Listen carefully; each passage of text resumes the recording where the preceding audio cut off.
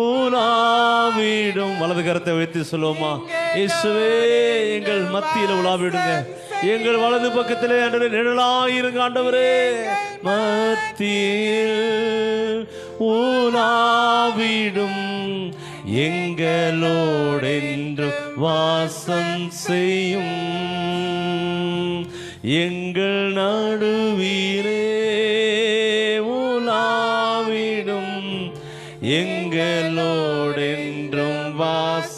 செய்யும். எங்கள் மத்திய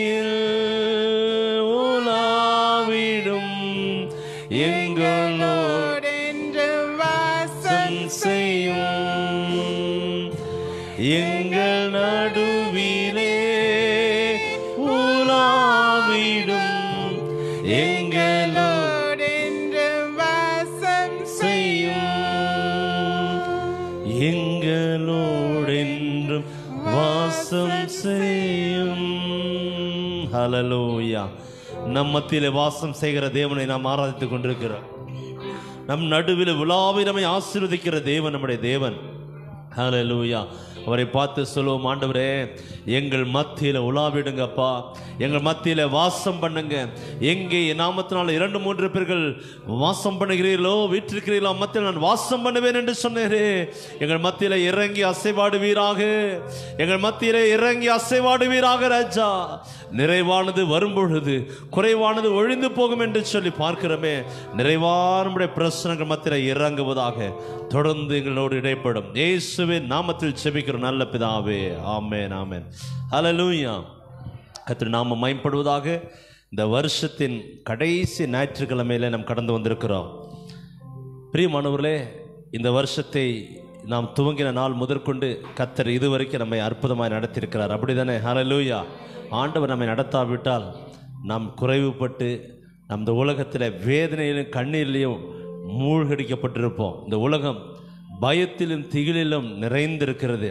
ஆனாலும் உங்களை என்னை அழைத்த தேவன் உண்மையுள்ளவராக இருந்து நம்மை நடத்தியிருக்கிறார். ஹலலூயா இந்த தேவன் என்றென்றைக்கு நம்முடைய தேவன் மரண பரிந்து நம்மை நடத்துகிற தேவன். ஆகவே இந்த கால வேலையில் கத்தரை மகிமைப்படுத்தி கத்தரை ஆராதிப்போம் கத்தரை பெரிய காரில் செய்வாராக. இந்த வேலையில் கத்தருக்கு நன்றி சொல்லும்படியாக இந்த ஞாயிற்றுக்கிழமை ஒரு நன்றி அறிதல் ஞாயிற்றுக்கிழமை நன்றி சொல்லக்கூடிய ஒரு நேரத்தில் நாம் கடந்து வந்திருக்கிறோம்.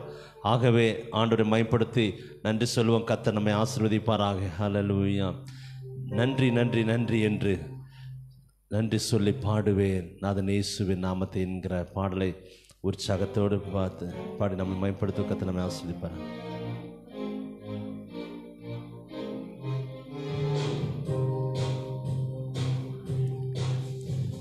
நன்றி நன்றி நன்றி நன்றி நன்றி நன்றி நன்றி நன்றி நன்றி சொல்லி பாடுவே நாதன் இயேசுவின் நாமத்தை நன்றி சொல்லி பாடுவே நாதன் இயேசுவின் நாமத்தை நன்றி நன்றி நன்றி நன்றி நன்றி நன்றி நன்றி நன்றி நன்றி சொல்லி பாடுவே நாதன் இயேசுவின் நாமத்தை நன்றி சொல்லி பாடுவே நாதன் இயேசுவின் நாமத்தை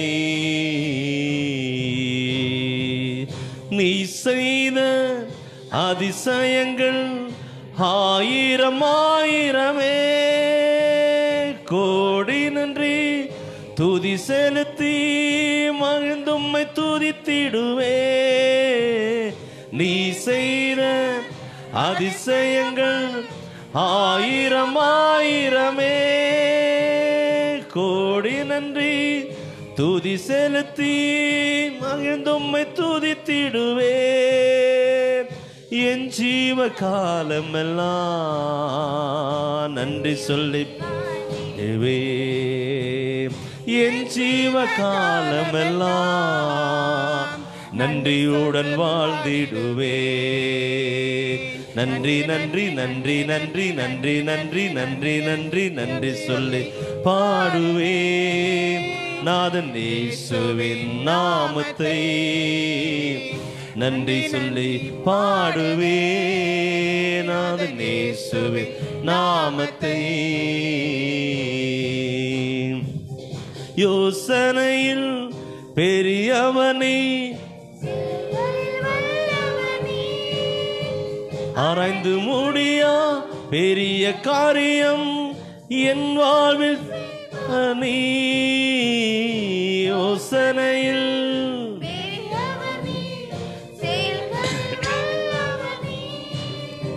ஆராய்ந்து முடியா பெரிய காரியம் செய்பவனே என் ஜீவ காலமெல்லாம் உம் பிரசனத்தில் வாழ்ந்திடுவே. என் ஜீவ காலமெல்லாம் உம் பிரசனத்தில் வாழ்ந்திடுவே. நன்றி நன்றி நன்றி நன்றி நன்றி நன்றி நன்றி நன்றி. சொல்லி கொஞ்சம் சத்தத்தை உயர்த்தி இயேசுவின் நாமத்தை நன்றி சொல்லி பாடுவே நாதன் இயேசுவின் நாமத்தை. நன்றி நன்றி நன்றி நன்றி நன்றி நன்றி நன்றி நன்றி சொல்லி பாடுவே. நாதன் இயேசுவின் நாமத்தை. நன்றி சொல்ல நான் மறப்பேனோ? நன்றி சொல்ல நான் மறப்பேனோ? ராஜாவே உமக்கு நன்றி. தெய்வமே உமக்கு நன்றி. ராஜாவே உமக்கு நன்றி. தெய்வமே உமக்கு நன்றி. நன்றி நன்றி இசையா. நன்றி இசையா நன்றி இசையா. நன்றி சொல்ல நான் மறப்பேனோ? நன்றி சொல்ல நான் மறப்பேனோ என் ராஜாவே உமக்கு நன்றி உமக்கு நன்றியா உமக்கு நன்றி ராஜாவே உமக்கு நன்றி. தெய்வமே உமக்கு நன்றி. நன்றி இசையா நன்றி இசையா. நன்றி இசையா நன்றி இசையா. சொல்லுவோமா? நன்றி இசையா.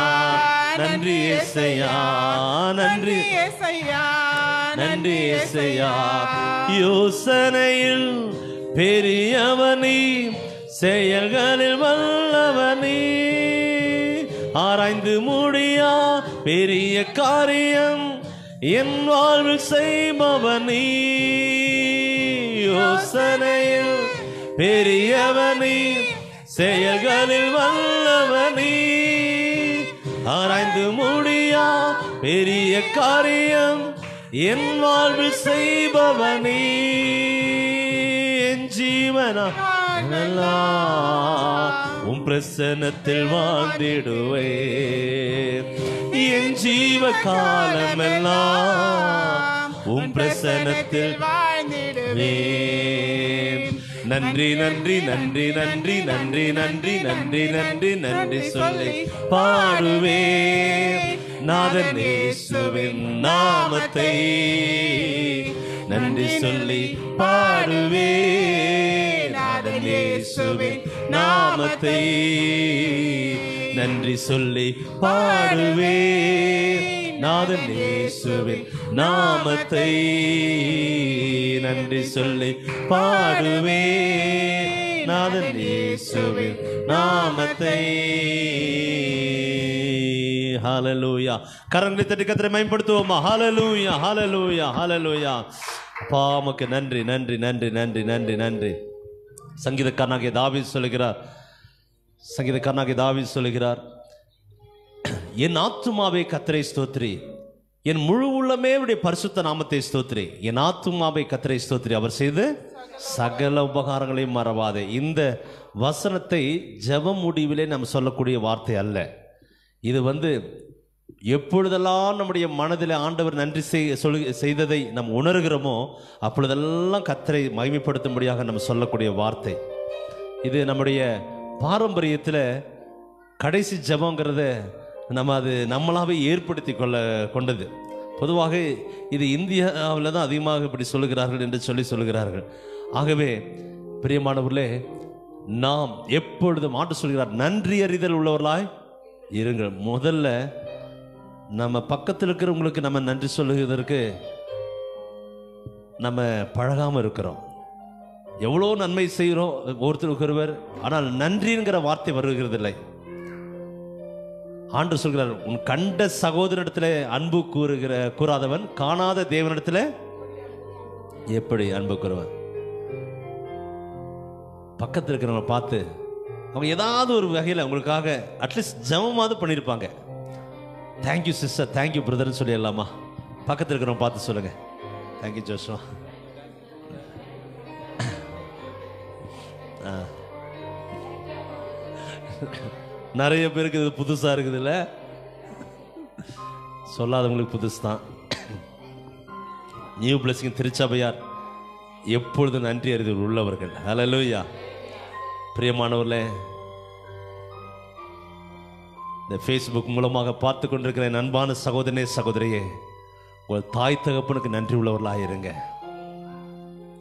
உங்கள் பெற்றோருக்கு நன்றி உள்ளவர்களாக இருங்க உங்கள் உடன்பிறப்பவர்களுக்கு நன்றி உள்ளவர்களாக இருங்க வேதம் சொல்கிறது ஆபத்தில் உதவுவனே சகோதரன் என்று சொல்லி. நாம் யாருக்கோ நன்றி சொல்லுகிறோம். நமக்கு தீமை ஒருத்தன் செய்வான்னு தெரியும் ஆனால் ஃபார்மாலிட்டியில் அவனுக்கு நன்றி சொல்லுவோம். அல்லது லெட்டரில் அவன் நமக்கு உதவியே செய்ய மாட்டேன் தெரியும். தேங்க்யூ சார் அப்படின்னு சொல்லி எழுதி முடிப்போம். சரி இப்போ நம்மளை ரசித்து ரட்சித்து பாவத்திலையும் அக்கிரமத்திலையும் நம்ம மீட்டு நம்ம அவருடைய விலையேறப்பெற்ற ரத்தத்தினால் நம்மை கழுவினாரே. நம்ம இதுவரைக்கும் ஏந்தி தாங்கி சுமந்து தப்பி வைத்து இந்த ஆண்டு முழுவதும் நம்மை நடத்தி வந்தாரே. அவர் செய்த நன்மைகளை நினைக்கும் பொழுது உள்ளத்தின் ஆழத்திலிருந்து நம்ம எவ்வளவு நன்றி நாம் சொல்ல வேண்டியது நாம் கடமைப்பட்டிருக்கிறோம். உள்ளத்தின் ஆழத்தை நாம் அவருக்கு நன்றி செலுத்துவோம். ஹalleluya. இருக்கிற இடங்கள் அப்படி எழுந்தத்து நின்று சொல்லுவோமா? ஓ சீச ஓ ரலரதிரலரமா உள்ளத்தின் ஆழத்திலிருந்து நன்றி செலுத்துகிறோம் இயேசுவே. ஹalleluya ஓ ரதிரலரஷாதிரலரமா நன்றி நன்றி நன்றி ஐயா நன்றி நன்றி நன்றி நன்றி நன்றி நன்றி ஐயா. சொல்லுவோமா? நன்றி நன்றி நன்றி ஐயா.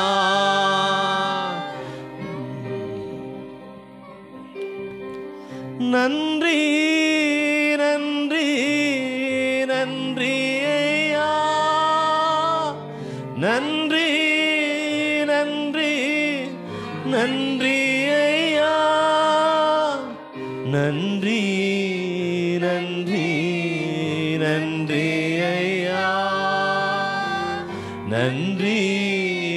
நன்றி நன்றி ஐயா.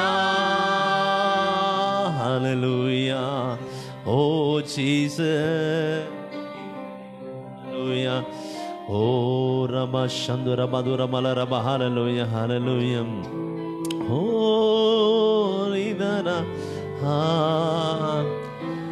ரிதனா சாதிரரா ரிரரா ரிரரா ரிரரா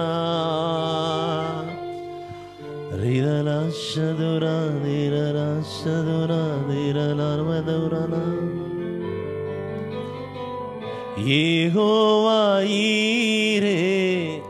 ஏலாம் நீரே உறைவெல்லாம் நிறைவாக்குவே. சொல்லுவோமா ஏகோவா பார்த்து கொள்வீரே ஏகோவா ஈரே பார்த்து கொள்வீரே.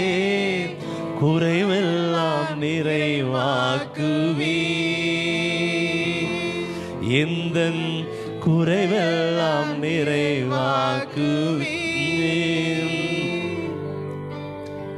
நன்றி நன்றி நன்றி ஐயா. நன்றி நன்றி நன்றி ஐயா. உள்ளத்தின் ஆழத்தில் சொல்லுமா நன்றி. நன்றி நன்றி ஐயா. நன்றி நன்றி நன்றி. கரங்களை சேர்த்து சொல்லுமா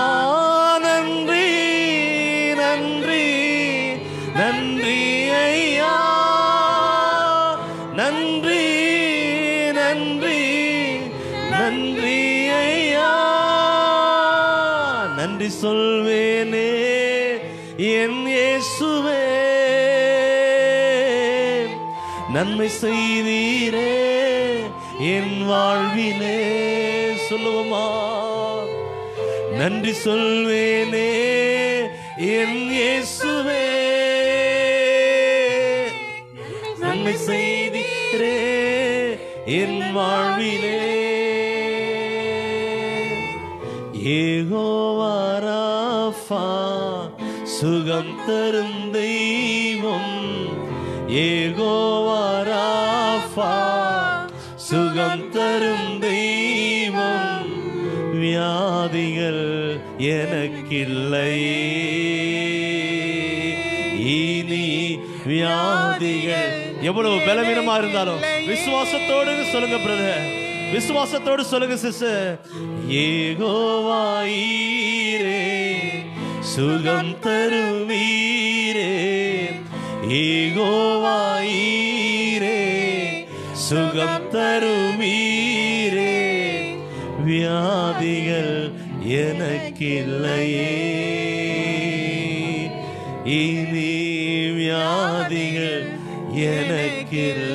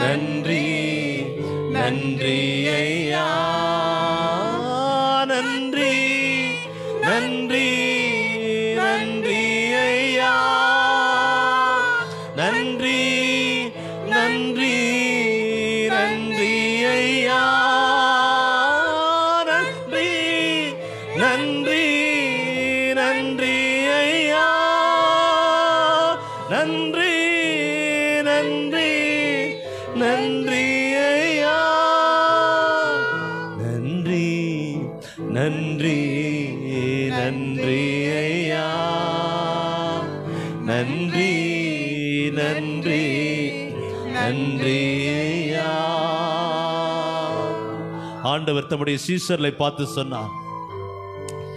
இதோ உலகத்தின் முடிவு பரிந்தும் சகல நாட்களில் நான் உங்களோடு கூட இருப்பேன் என்று சொல்லி அவர்தான் ஒரு காரியத்தின் துவக்கம் அவர்தான் ஒரு காரியத்தின் முடிவு. இந்த வருஷத்தை துவங்கின ஆண்டவர் இந்த வருஷத்தை முடிக்கவும் கத்தர் கிருபை செய்து கொண்டிருக்கிறார். ஏகோவா சம்மா கூடவே இருப்பு தனியாக விடவில்லையே. நீ தனியாக விட மாட்டீங்கப்பா வயதான பெற்றோர்களை பிள்ளைகள் மறந்து அனாதி ஆசிரமத்தில் விட்டுறது முதியோர் இல்லத்தில் விட்டுறாங்க. அல்லது சில பெற்றோர் தன்னுடைய சுயநலத்திற்காக பிள்ளைகளை மறந்து போய் விடுகிறார்கள். குடும்பத்தில் மனுஷனுடைய அன்பு கடைசி நாட்களில் தணிந்து போகும் என்று சில வேதம் சொல்கிறது அல்லவா? ஆகவே தணிந்து போன அன்பை குறித்து நாம் வேதனைப்பட வேண்டிய அவசியம் இல்லை வேதனைப்படுவது வீண். ஆனால் குறையில்லாத அன்பு அந்த நிறைவான அன்பு சிலுவையில் வெளிப்பட்ட அந்த நேச அன்பு. ஓ அவர் சொன்னார் நான் கூடவே இருப்பேன். ஓ ஏகோவா சம்மா கூடவே இருப்பீ ஏகோவா சம்மா கூடவே இருப்பி தனியாக விடவே ஆட்டி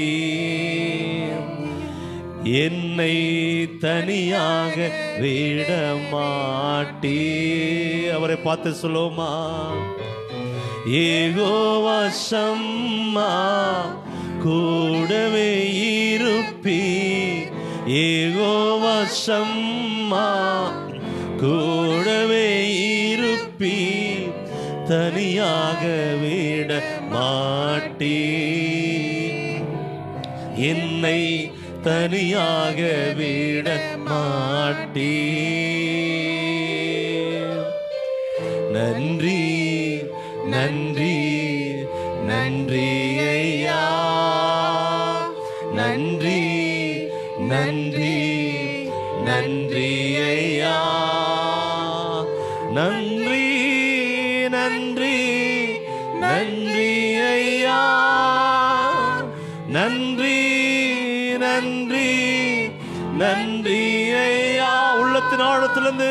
நன்றி நன்றி நன்றி ஐயா.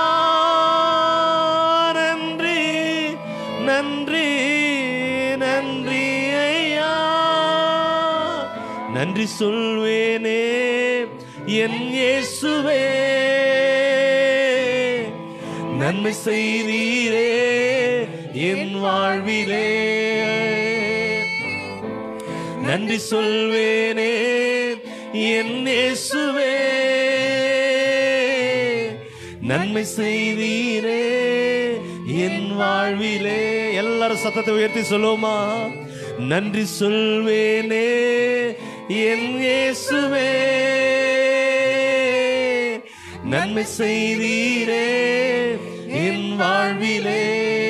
உள்ளத்தின் ஆழத்திலிருந்து சொல்லுவோம். நன்றி சொல்வேன். என் இயேசுவே.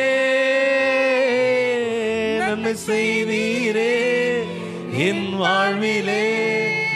ஓ சத்தத்தை உயர்த்தி நன்மை செய்தீரே. என் வாழ்வில்.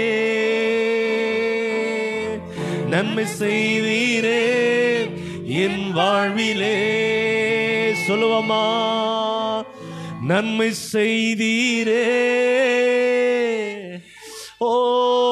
நன்மை செய்த தேவனை பார்த்து சொல்லுவோமா? ரெண்டு கரங்களை உயர்த்தி ஓ ஹலலூயா ஓ இந்த ஆண்டு முழுவதும் ஆண்டவர் எவ்வளவு அற்புதமாய் உங்களை பராமரித்திருக்கிறார். ஹalleluya. வியாதியின் கொடுமையினாலே உலகம் முழுவதும் கலங்கி நிற்கிற வேலையிலே நம்மை அழைத்த தேவன் உண்மையுள்ளவராய் இருந்திருக்கிறார் என் அன்பு சகோதரனே. உங்களை அழைத்த தேவன் உங்களுக்கு உண்மையுள்ளவராய் இருந்திருக்கிறார். ஓ ரலர சந்துர மதுர மலர மஹalleluya நன்றி சொல்வேனே என் இயேசுவே. நன்மை செய்தீரே என் வாழ்விலே.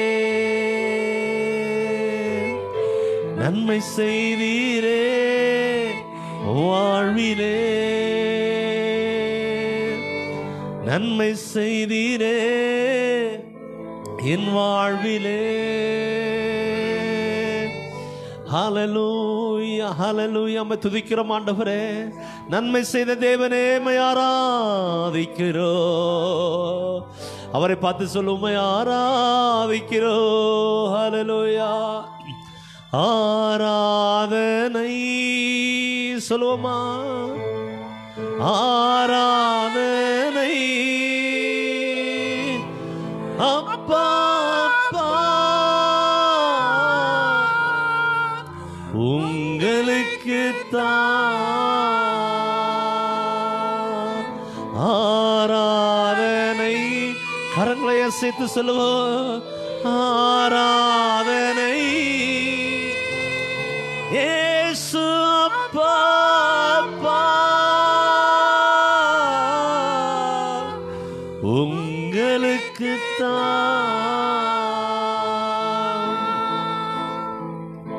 இப்பொழுது விசுவாசத்தோடு நாம் சொல்லுவோம்பா என்னை அழைத்தவரோ கைவிட மாட்டார். கரம் பிடித்தவரோ விலகிட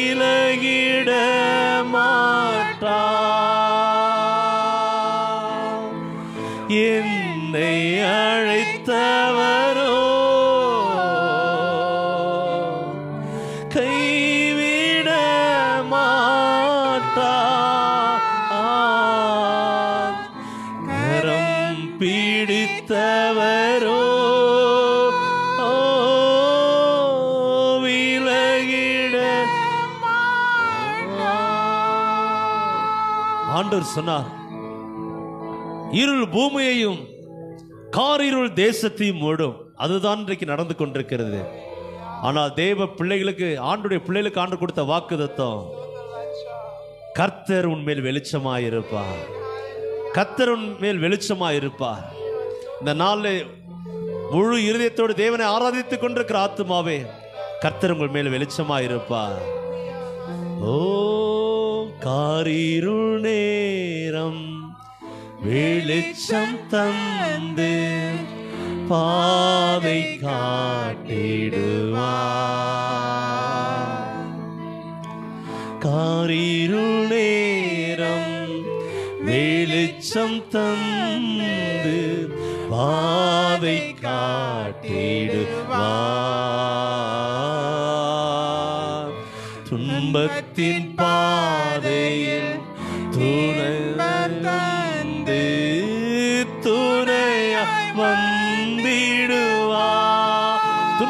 பாதையில் இன்பம் தந்து துணையாய் வந்திடுவார். வெளிச்சம் தந்து பாதை காட்டிடுவா மீண்டுமாய் சொல்லுவோமா? காரிருள் நேரம் வெளிச்சம் தந்து பாதை காட்டிடுவா துன்பத்தின் பாதையில் இன்பம் தந்து துணையாய் வந்திடுவா என்னை அழைத்தவரோ கைவிட மாட்டா கரம் பிடித்தவரோ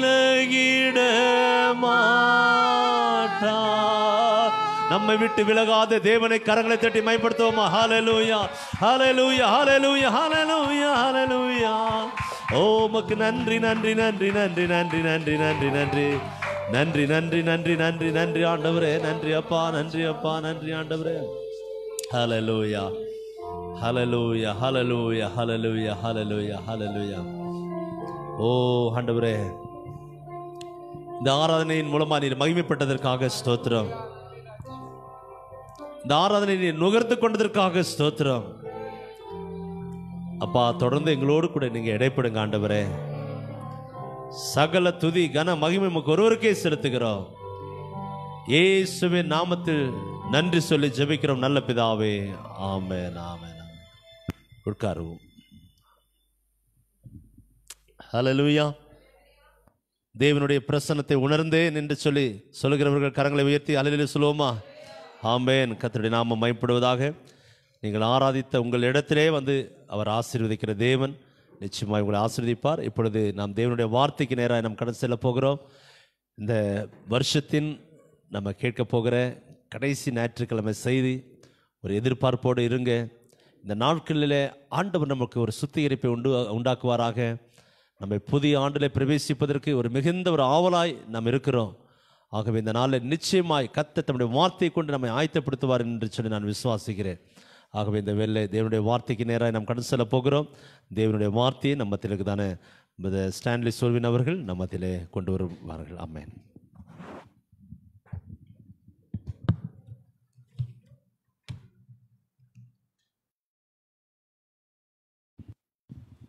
செக் ஹலலூயா ஸ்தோத்ரம்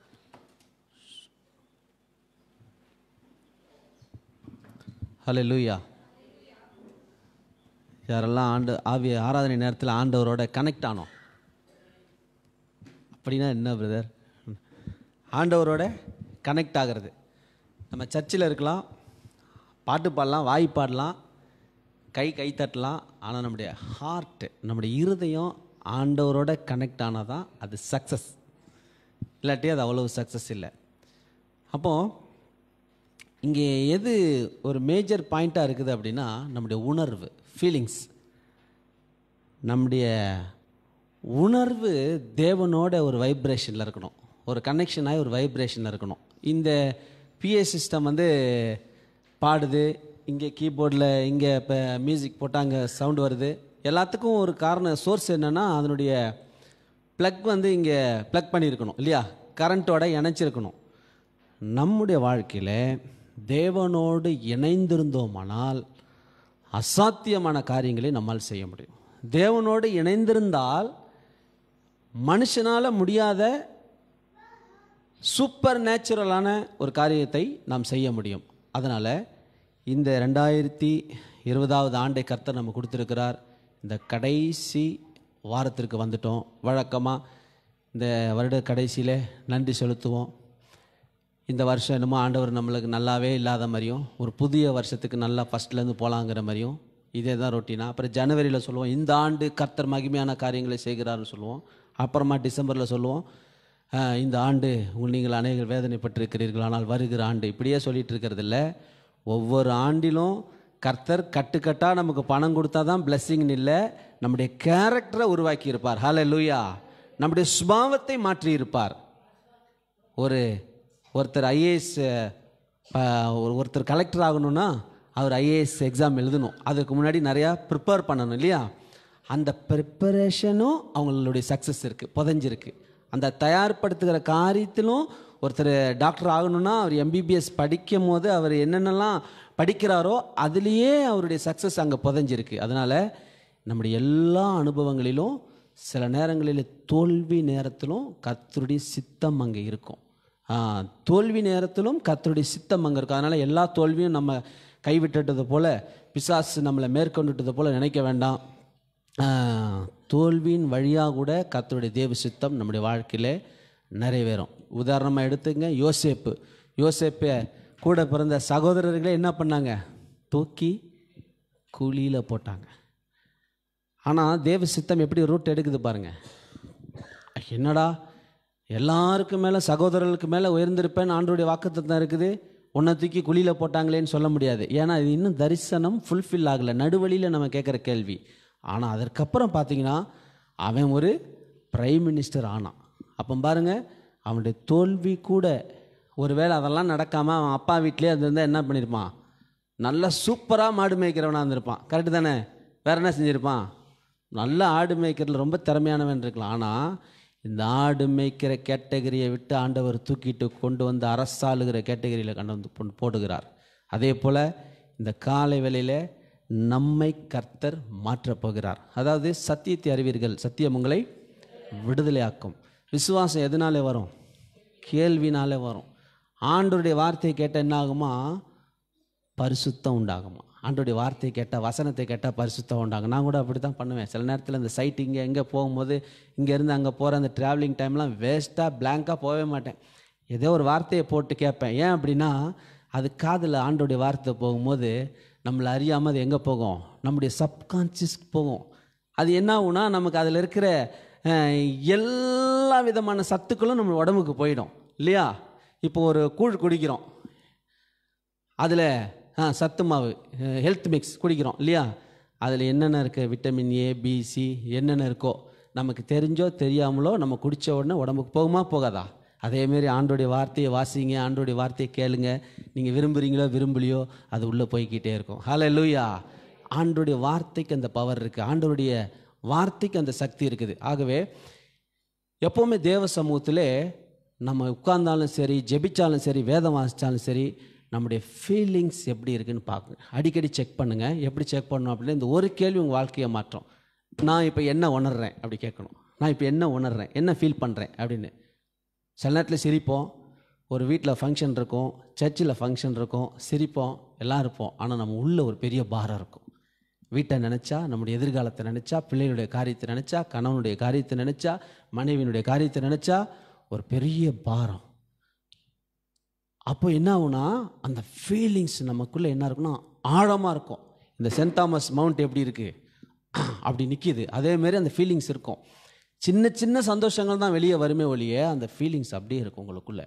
அப்போது பிசாஸு அந்த ஃபீலிங்கை தொடுறான். அந்த ஃபீலிங்கை ஆப்ரேட் பண்ணுறான் இன்னொன்று பார்த்தீங்கன்னா பரிசுத்த ஆவியானவர் அந்த ஃபீலிங்கில் டச் பண்ணி ஆப்ரேட் பண்ணுறாரு இன்னொன்று நாம் சேகரிக்கிற தகவல்கள். நம்ம எதையெல்லாம் கலெக்ட் பண்ணுறோமோ நம்ம காதில் போடுறோமோ எதையெல்லாம் கேட்குறோமோ அது நம்ம ஆப்ரேட் பண்ணோம். உதாரணமாக இந்த நாங்கள்லாம் நாங்கெல்லாம் சின்னதாக இருக்கும்போது சொல்லுவாங்க கரத்தா கரைத்தா கரத் கராத்தா கற்றுக்கிறவங்கெல்லாம் ஜாக்கி ஜான் படம் பார்த்துட்டு இங்கே போட்டிருக்கான் அதை பார்ப்பேன் ஏன்னா பார்த்து பார்த்து ப்ராக்டிஸ் பண்ணுவாங்க. அதேமாரி ஜிம்முக்கு போகிறவங்களாம் அதுக்கு தகுந்த மாதிரி படம் சினிமா படம் இங்கிலீஷ் படம் பார்த்தா ஏன் அப்படின்னா என்ன பண்ணுறான் எனர்ஜியை எனர்ஜியை டெவலப் பண்ணி எமோஷனை க்ரியேட் பண்ணி இன்னும் நல்லா கடினமாக எக்ஸசைஸ் பண்ணுறதுக்காக ஒரு காட்சி தேவைப்படுது நம்ம கண்ணுக்கு இல்லையா? அதே மாதிரி தேவ சமூகத்தில் நம்முடைய உணர்வுகளை அதிகரிப்பதற்கு நாம் தான் ப்ராக்டிஸ் பண்ணணும். ப்ராக்டிஸ் மேக் பர்ஃபெக்ட் ஆனால் நம்ம வந்து வழக்கம் போல் வரோம் வழக்கம் போல் ஜனவரியில் எப்படி உட்காந்தோமோ அதேமாரி தான் டிசம்பரில் உட்காந்துருப்போம் என்ன கொஞ்சம் வயசு மட்டும் ஆயிருக்கும் இல்லையா? அது மாத்திரம் இல்லை. சேஞ்சஸ் எங்கே இருக்குன்னா உள்ளே இருக்கணும். பார்க்குறவங்க சொல்லலாம் நீ ஆள் இப்படி ஆயிட்டு அப்படி ஆயிட்டு அது இல்லை இது இல்லை இல்லை. உள்ளார்ந்த மனிதன். பவுல் சொல்கிறார் உள்ளார்ந்த மனிதன் வல்லமையாய் பலப்பட. பாருங்கள் எவ்வளோ பெரிய வார்த்தை. உள்ளார்ந்த மனிதன் வல்லமையாய் பலப்பட. பேதுரு சொல்கிறாரு அவருடைய கடைசி நாட்களில் சொல்கிறார் இந்த கூடாரத்தை விட்டு நான் புறப்படும் போது இந்த கூடாரம் இந்த கூடாரத்தில் தங்கி இருக்கையில் அவர் என்ன சொல்கிறாருன்னா அவருடைய சரீரத்தை அவருடைய பாடியை ஒரு கூடாரம். இதில் நான் சில காலம் தங்கியிருக்கிறேன். இந்த பூமியில் பிறக்கும் போது கர்த்தர் எனக்கு கொடுத்துருக்கிறார். நான் இங்கே உள்ள பெர்மனண்ட் சிட்டிசன்ஷிப் எனக்கு இல்லை. நான் ஹெவன்லி சிட்டிசன்ஷிப் உடையவனாக இருக்கிறேன். அதனால் போயிடுவேன் ஆனால் நான் அங்கே இருப்பேன் எல்லா இடத்துக்கும் போகிறேன் இங்கே இந்த பாடியில் இருக்கேன். இந்த மார்டல் பாடி அழியக்கூடிய சரீரத்தில் இருக்கிறேன் ஆனால் எனக்குள்ளே இருக்கிற இந்த ஸ்பிரிட் தான் நான் அப்படின்னு சொல்கிறார் இந்த கூடாரத்தில் நான் இருக்கையில். அப்போது நிறைய விஷயத்த பேசிக்கே இல்லாமல் நம்ம இருக்கோம். அடிப்படையே தெரிஞ்சிக்காமல் அடிப்படைக்குள்ளேயே இல்லாமல் பொதுவாக ஒரு வாழ்ந்த வாழ்க்கை வாழ்ந்துட்டுருக்கோம். எப்படி பாருங்கள் இந்த ஃப்ளட்டு வந்தப்போ இங்கே தண்ணியெல்லாம் வந்துச்சு இல்லையா? அப்போ அந்த தண்ணி மட்டும் போல சென்னை சிட்டியில் இருக்கிற குப்பையும் சேர்ந்து போச்சு. எப்படி போச்சு? தண்ணியோட தண்ணியாக ஒரு ரெண்டு மூணு குப்பை மட்டும் இப்படி போகுமா? எதிரில் போகுமா? செம்பரம்பாக்கம் ரிட்டர்ன் போகுமா? போகாது. எல்லாமே கடலுக்கு தான் போகும். நாமும் அப்படிதான் இந்த உலகத்தோட உலகமாக மனிதனோட மனிதனா ஓட்டத்தோட ஓட்டமா? ஓடிக்கிட்டே இருக்கோம். கர்த்தர் நமக்கு கொடுத்துருக்கிற தரிசனம் வேற இல்லை. இங்கே நிறைய பேர் இருக்கிறோம். எல்லாருக்கும் ஒரு ஒரு வகையில் ஒரு தரிசனம் கொடுத்துருக்கிறார். இல்லையா? அந்த தரிசனத்தை நம்ம பார்க்கல அந்த தரிசனத்தை சிந்திக்கல ஏன் சிந்திக்கல ஏன் பார்க்கலனா தனியே தேவ சமூகத்தில் நாம் அமரவில்லை. தனியாய் தேவ சமூகத்தில் அமரும் பொழுது நம்முடைய தரிசனத்தை சுமர்ப்பதற்கு ஒரு அக்கறை வரும். ஒரு வாஞ்சை வரும். யாருக்காகவோ வாழ்கிறோம் யாரோட விருப்பத்தையை நிறைவேற்றி கொண்டிருக்கிறோம். இப்போ ஒரு ஃப்ரெண்டு கூப்பிட்றாரு வாங்க சினிமாவுக்கு போகலாம் வாப்பா அப்படின்னு கூப்பிட்றாரு. உடனே அது யாருடைய விருப்பம்? அவனோடைய விருப்பம். அதில் யார் இணைஞ்சிக்கிறோம்? போகிற நம்ம இணைஞ்சிக்கிறோம். அதே போல தான் எந்த ஒரு காரியமாக இருந்தாலும் சரி இது யாருடைய விருப்பம்? என்னுடைய விருப்பமா? என்னுடைய நோக்கமா? என்று ஆராய வேண்டும். உணர்வை குறித்து தான் இப்போ நம்ம பேச போகிறோம் நீதிமொழிகள் இருபத்தி மூன்றாவது வசனம் நீ அதிகாரம் ஏழாவது வசனத்தை எடுத்து வாசிங்கள்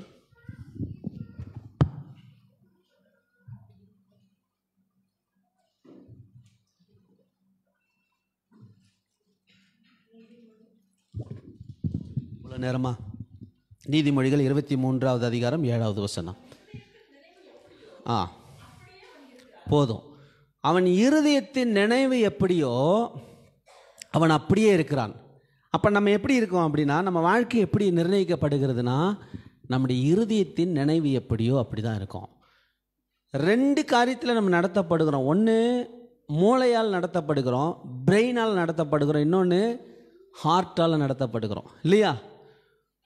ஒருத்தர் ஒரு சின்ன குழந்தைய ஒரு நாய் கடிக்குது. நாய் துரத்துது. கடிக்கிற மாதிரி போகுது. நம்ம என்ன பண்ணுவோம் அந்த நேரத்தில்? எங்கே இருந்தாலும்? ஓடி போவோமா இல்லையா? அப்போ மனசுலேருந்து செய்கிறோம் ஓடுவோம். அந்த நாய் நம்மளை கடிச்சிருமே அதெல்லாம் பார்க்க மாட்டோம். ஓடுவோம். ஆனால் கொஞ்சம் டைமிங் கிடச்சின்னு வச்சிங்களேன் பிரெயின் அதை எடுத்துக்கும். டேக் ஓவர் பண்ணிக்கும். பிரெயின் என்ன பண்ணா? வேண்டாம். உன்னைய நாய் கடிச்சிச்சுன்னா நீ என்ன பண்ணுவ? தொப்பில் சுற்றி ஊசி போடுவியா? அதனால் நீ முதல்ல சேஃப்டியாக இருந்தால் பார்த்துக்கோ. பிரெயின் வேலை செய்யும் பாருங்கள் நம்ம ஹார்ட்டில் ஃபஸ்ட்டு போவோம். அப்புறம் அதை பிரெயின் எடுத்துக்கும். பிரெயின் எடுத்தோடனே ஜட்ஜ் பண்ணுவோம். ஜட்ஜ் பண்ணிவிட்டு என்ன பண்ணுவோன்னா ஒரு நற்கிரியை செய்ய மாட்டோம். ஒரு நற்கீரியிலேருந்து என்ன பண்ணிடுவோம் விலகிடுவோம் நிறைய நேரங்களில் ஒரு நற்கிரியை அந்த உணர்வு உள்ளே இருந்து வரும். உள்ளே இருந்து வரும்.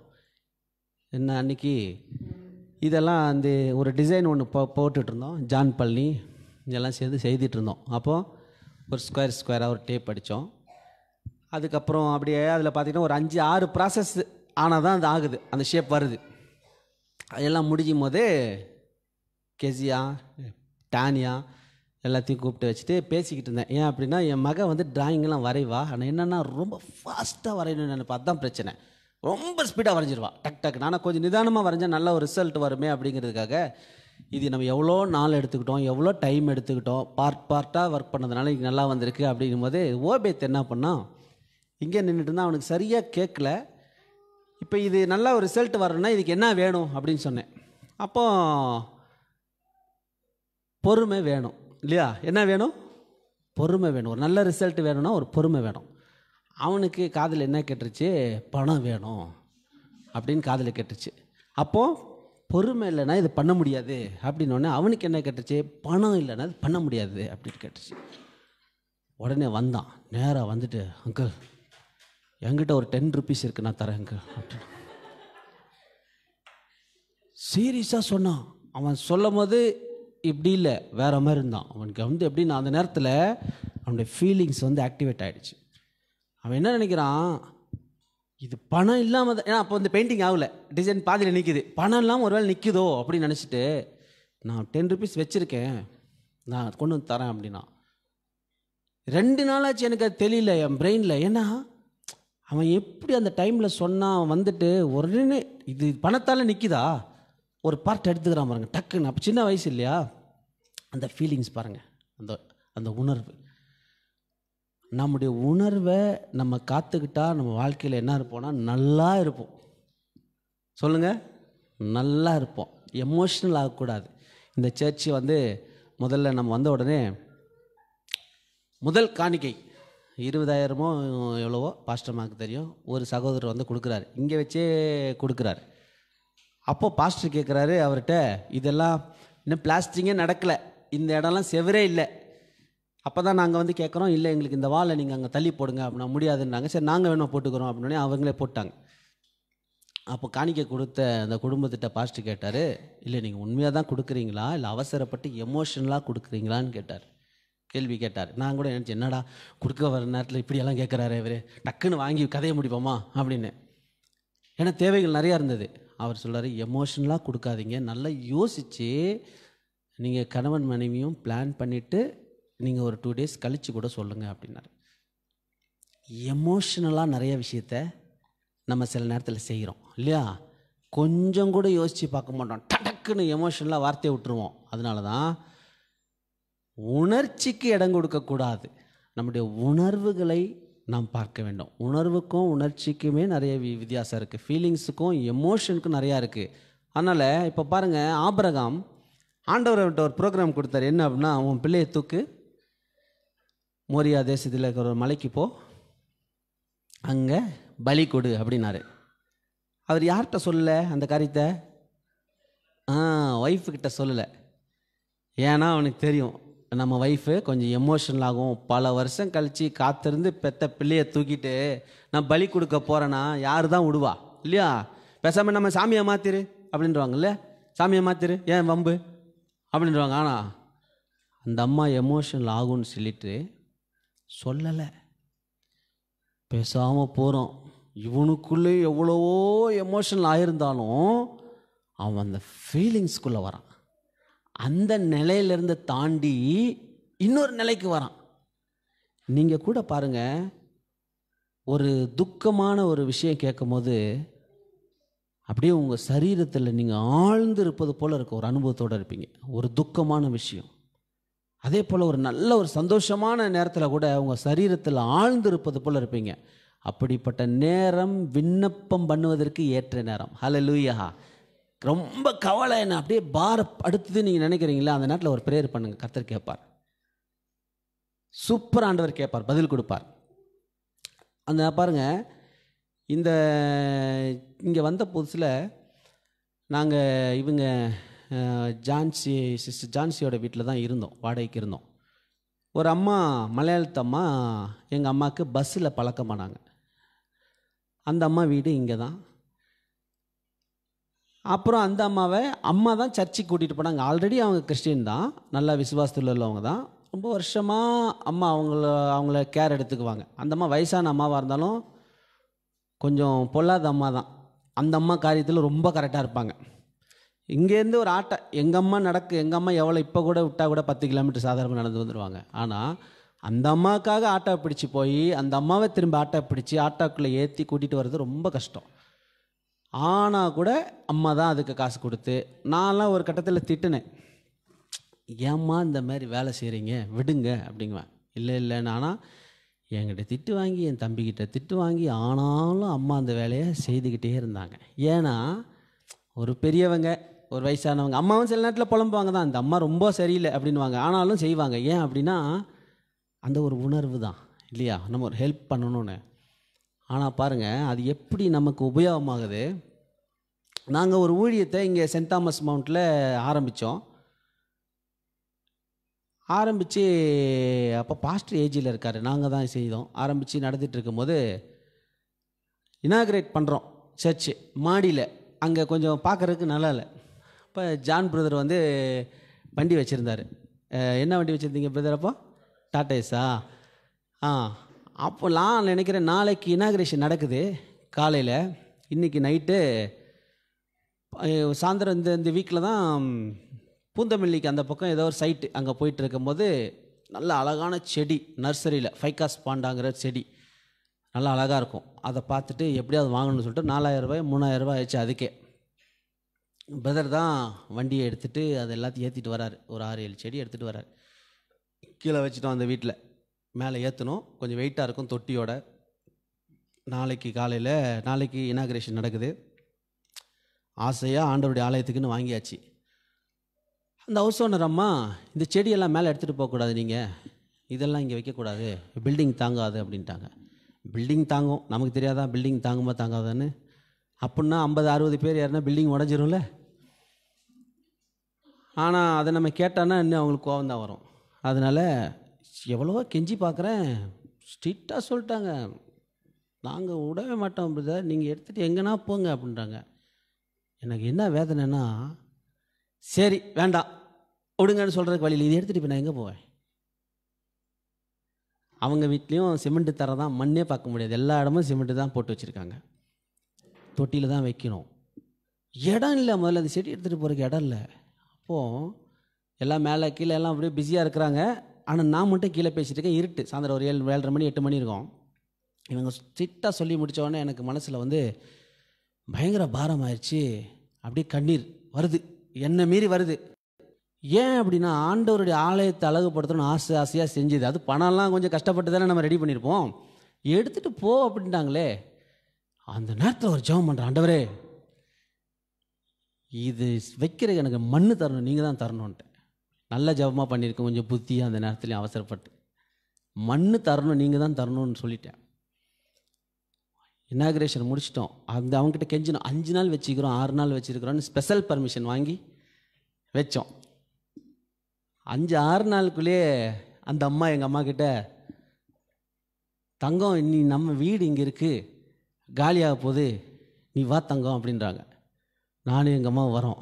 வந்து பார்த்தா நான் நினைக்கிறேன் மண் இருக்குடா செடி வைக்கிறதுக்கு. ஹலோ லூயா வேற ஒருத்தர் வந்து அந்த இடத்துக்கு ட்ரை பண்ணியிருக்கிறாரு கார்லாம் உள்ளே போகலைன்னு சொல்லி திரும்பி போயிட்டார். ஏன்னா முன்னாடி சேர்லாம் இருக்கும். நான் வந்த உடனே ஒரு பதினஞ்சு இருபதாயிரம் செலவு பண்ணி முன்னாடி இந்த ரேம்ப்லாம் போட்டு காங்க்ரீட் போட்டு ரெடி பண்ணி விசுவாசத்திலேயே இருந்தோம். ஆனால் கர்த்தர் நம்முடைய விருப்பத்தின்படி இன்னைக்கு அந்த இடத்தையே சொந்தமாக்கிட்டார். ஹாலே லூயா நம்முடைய உணர்வுகள் பாருங்கள் ரொம்ப சக்தி வாய்ந்தது. நம்முடைய உணர்வுகள் வந்து அசால்ட்டாக நினைக்க வேண்டாம். நீங்கள் கேட்கணும் ஒரு கொஸ்டின் கேளுங்க. நான் இப்போ என்ன உணர்றேன்னு கேளுங்க. நான் என்ன உணர்றேன்னு? அப்போ சொல்லணும் நீ இப்போ கேடுகட்ட சிந்தை உன்ட்ட இருக்குது சொல்லும். நீ இப்போ மோசமாக உணர்ற. உன் புத்தி சரியில்லை. சொல்லும். சரி ஓகே கரெக்ட் பண்ணிக்கிறேன். கரெக்ட் பண்ணுங்க.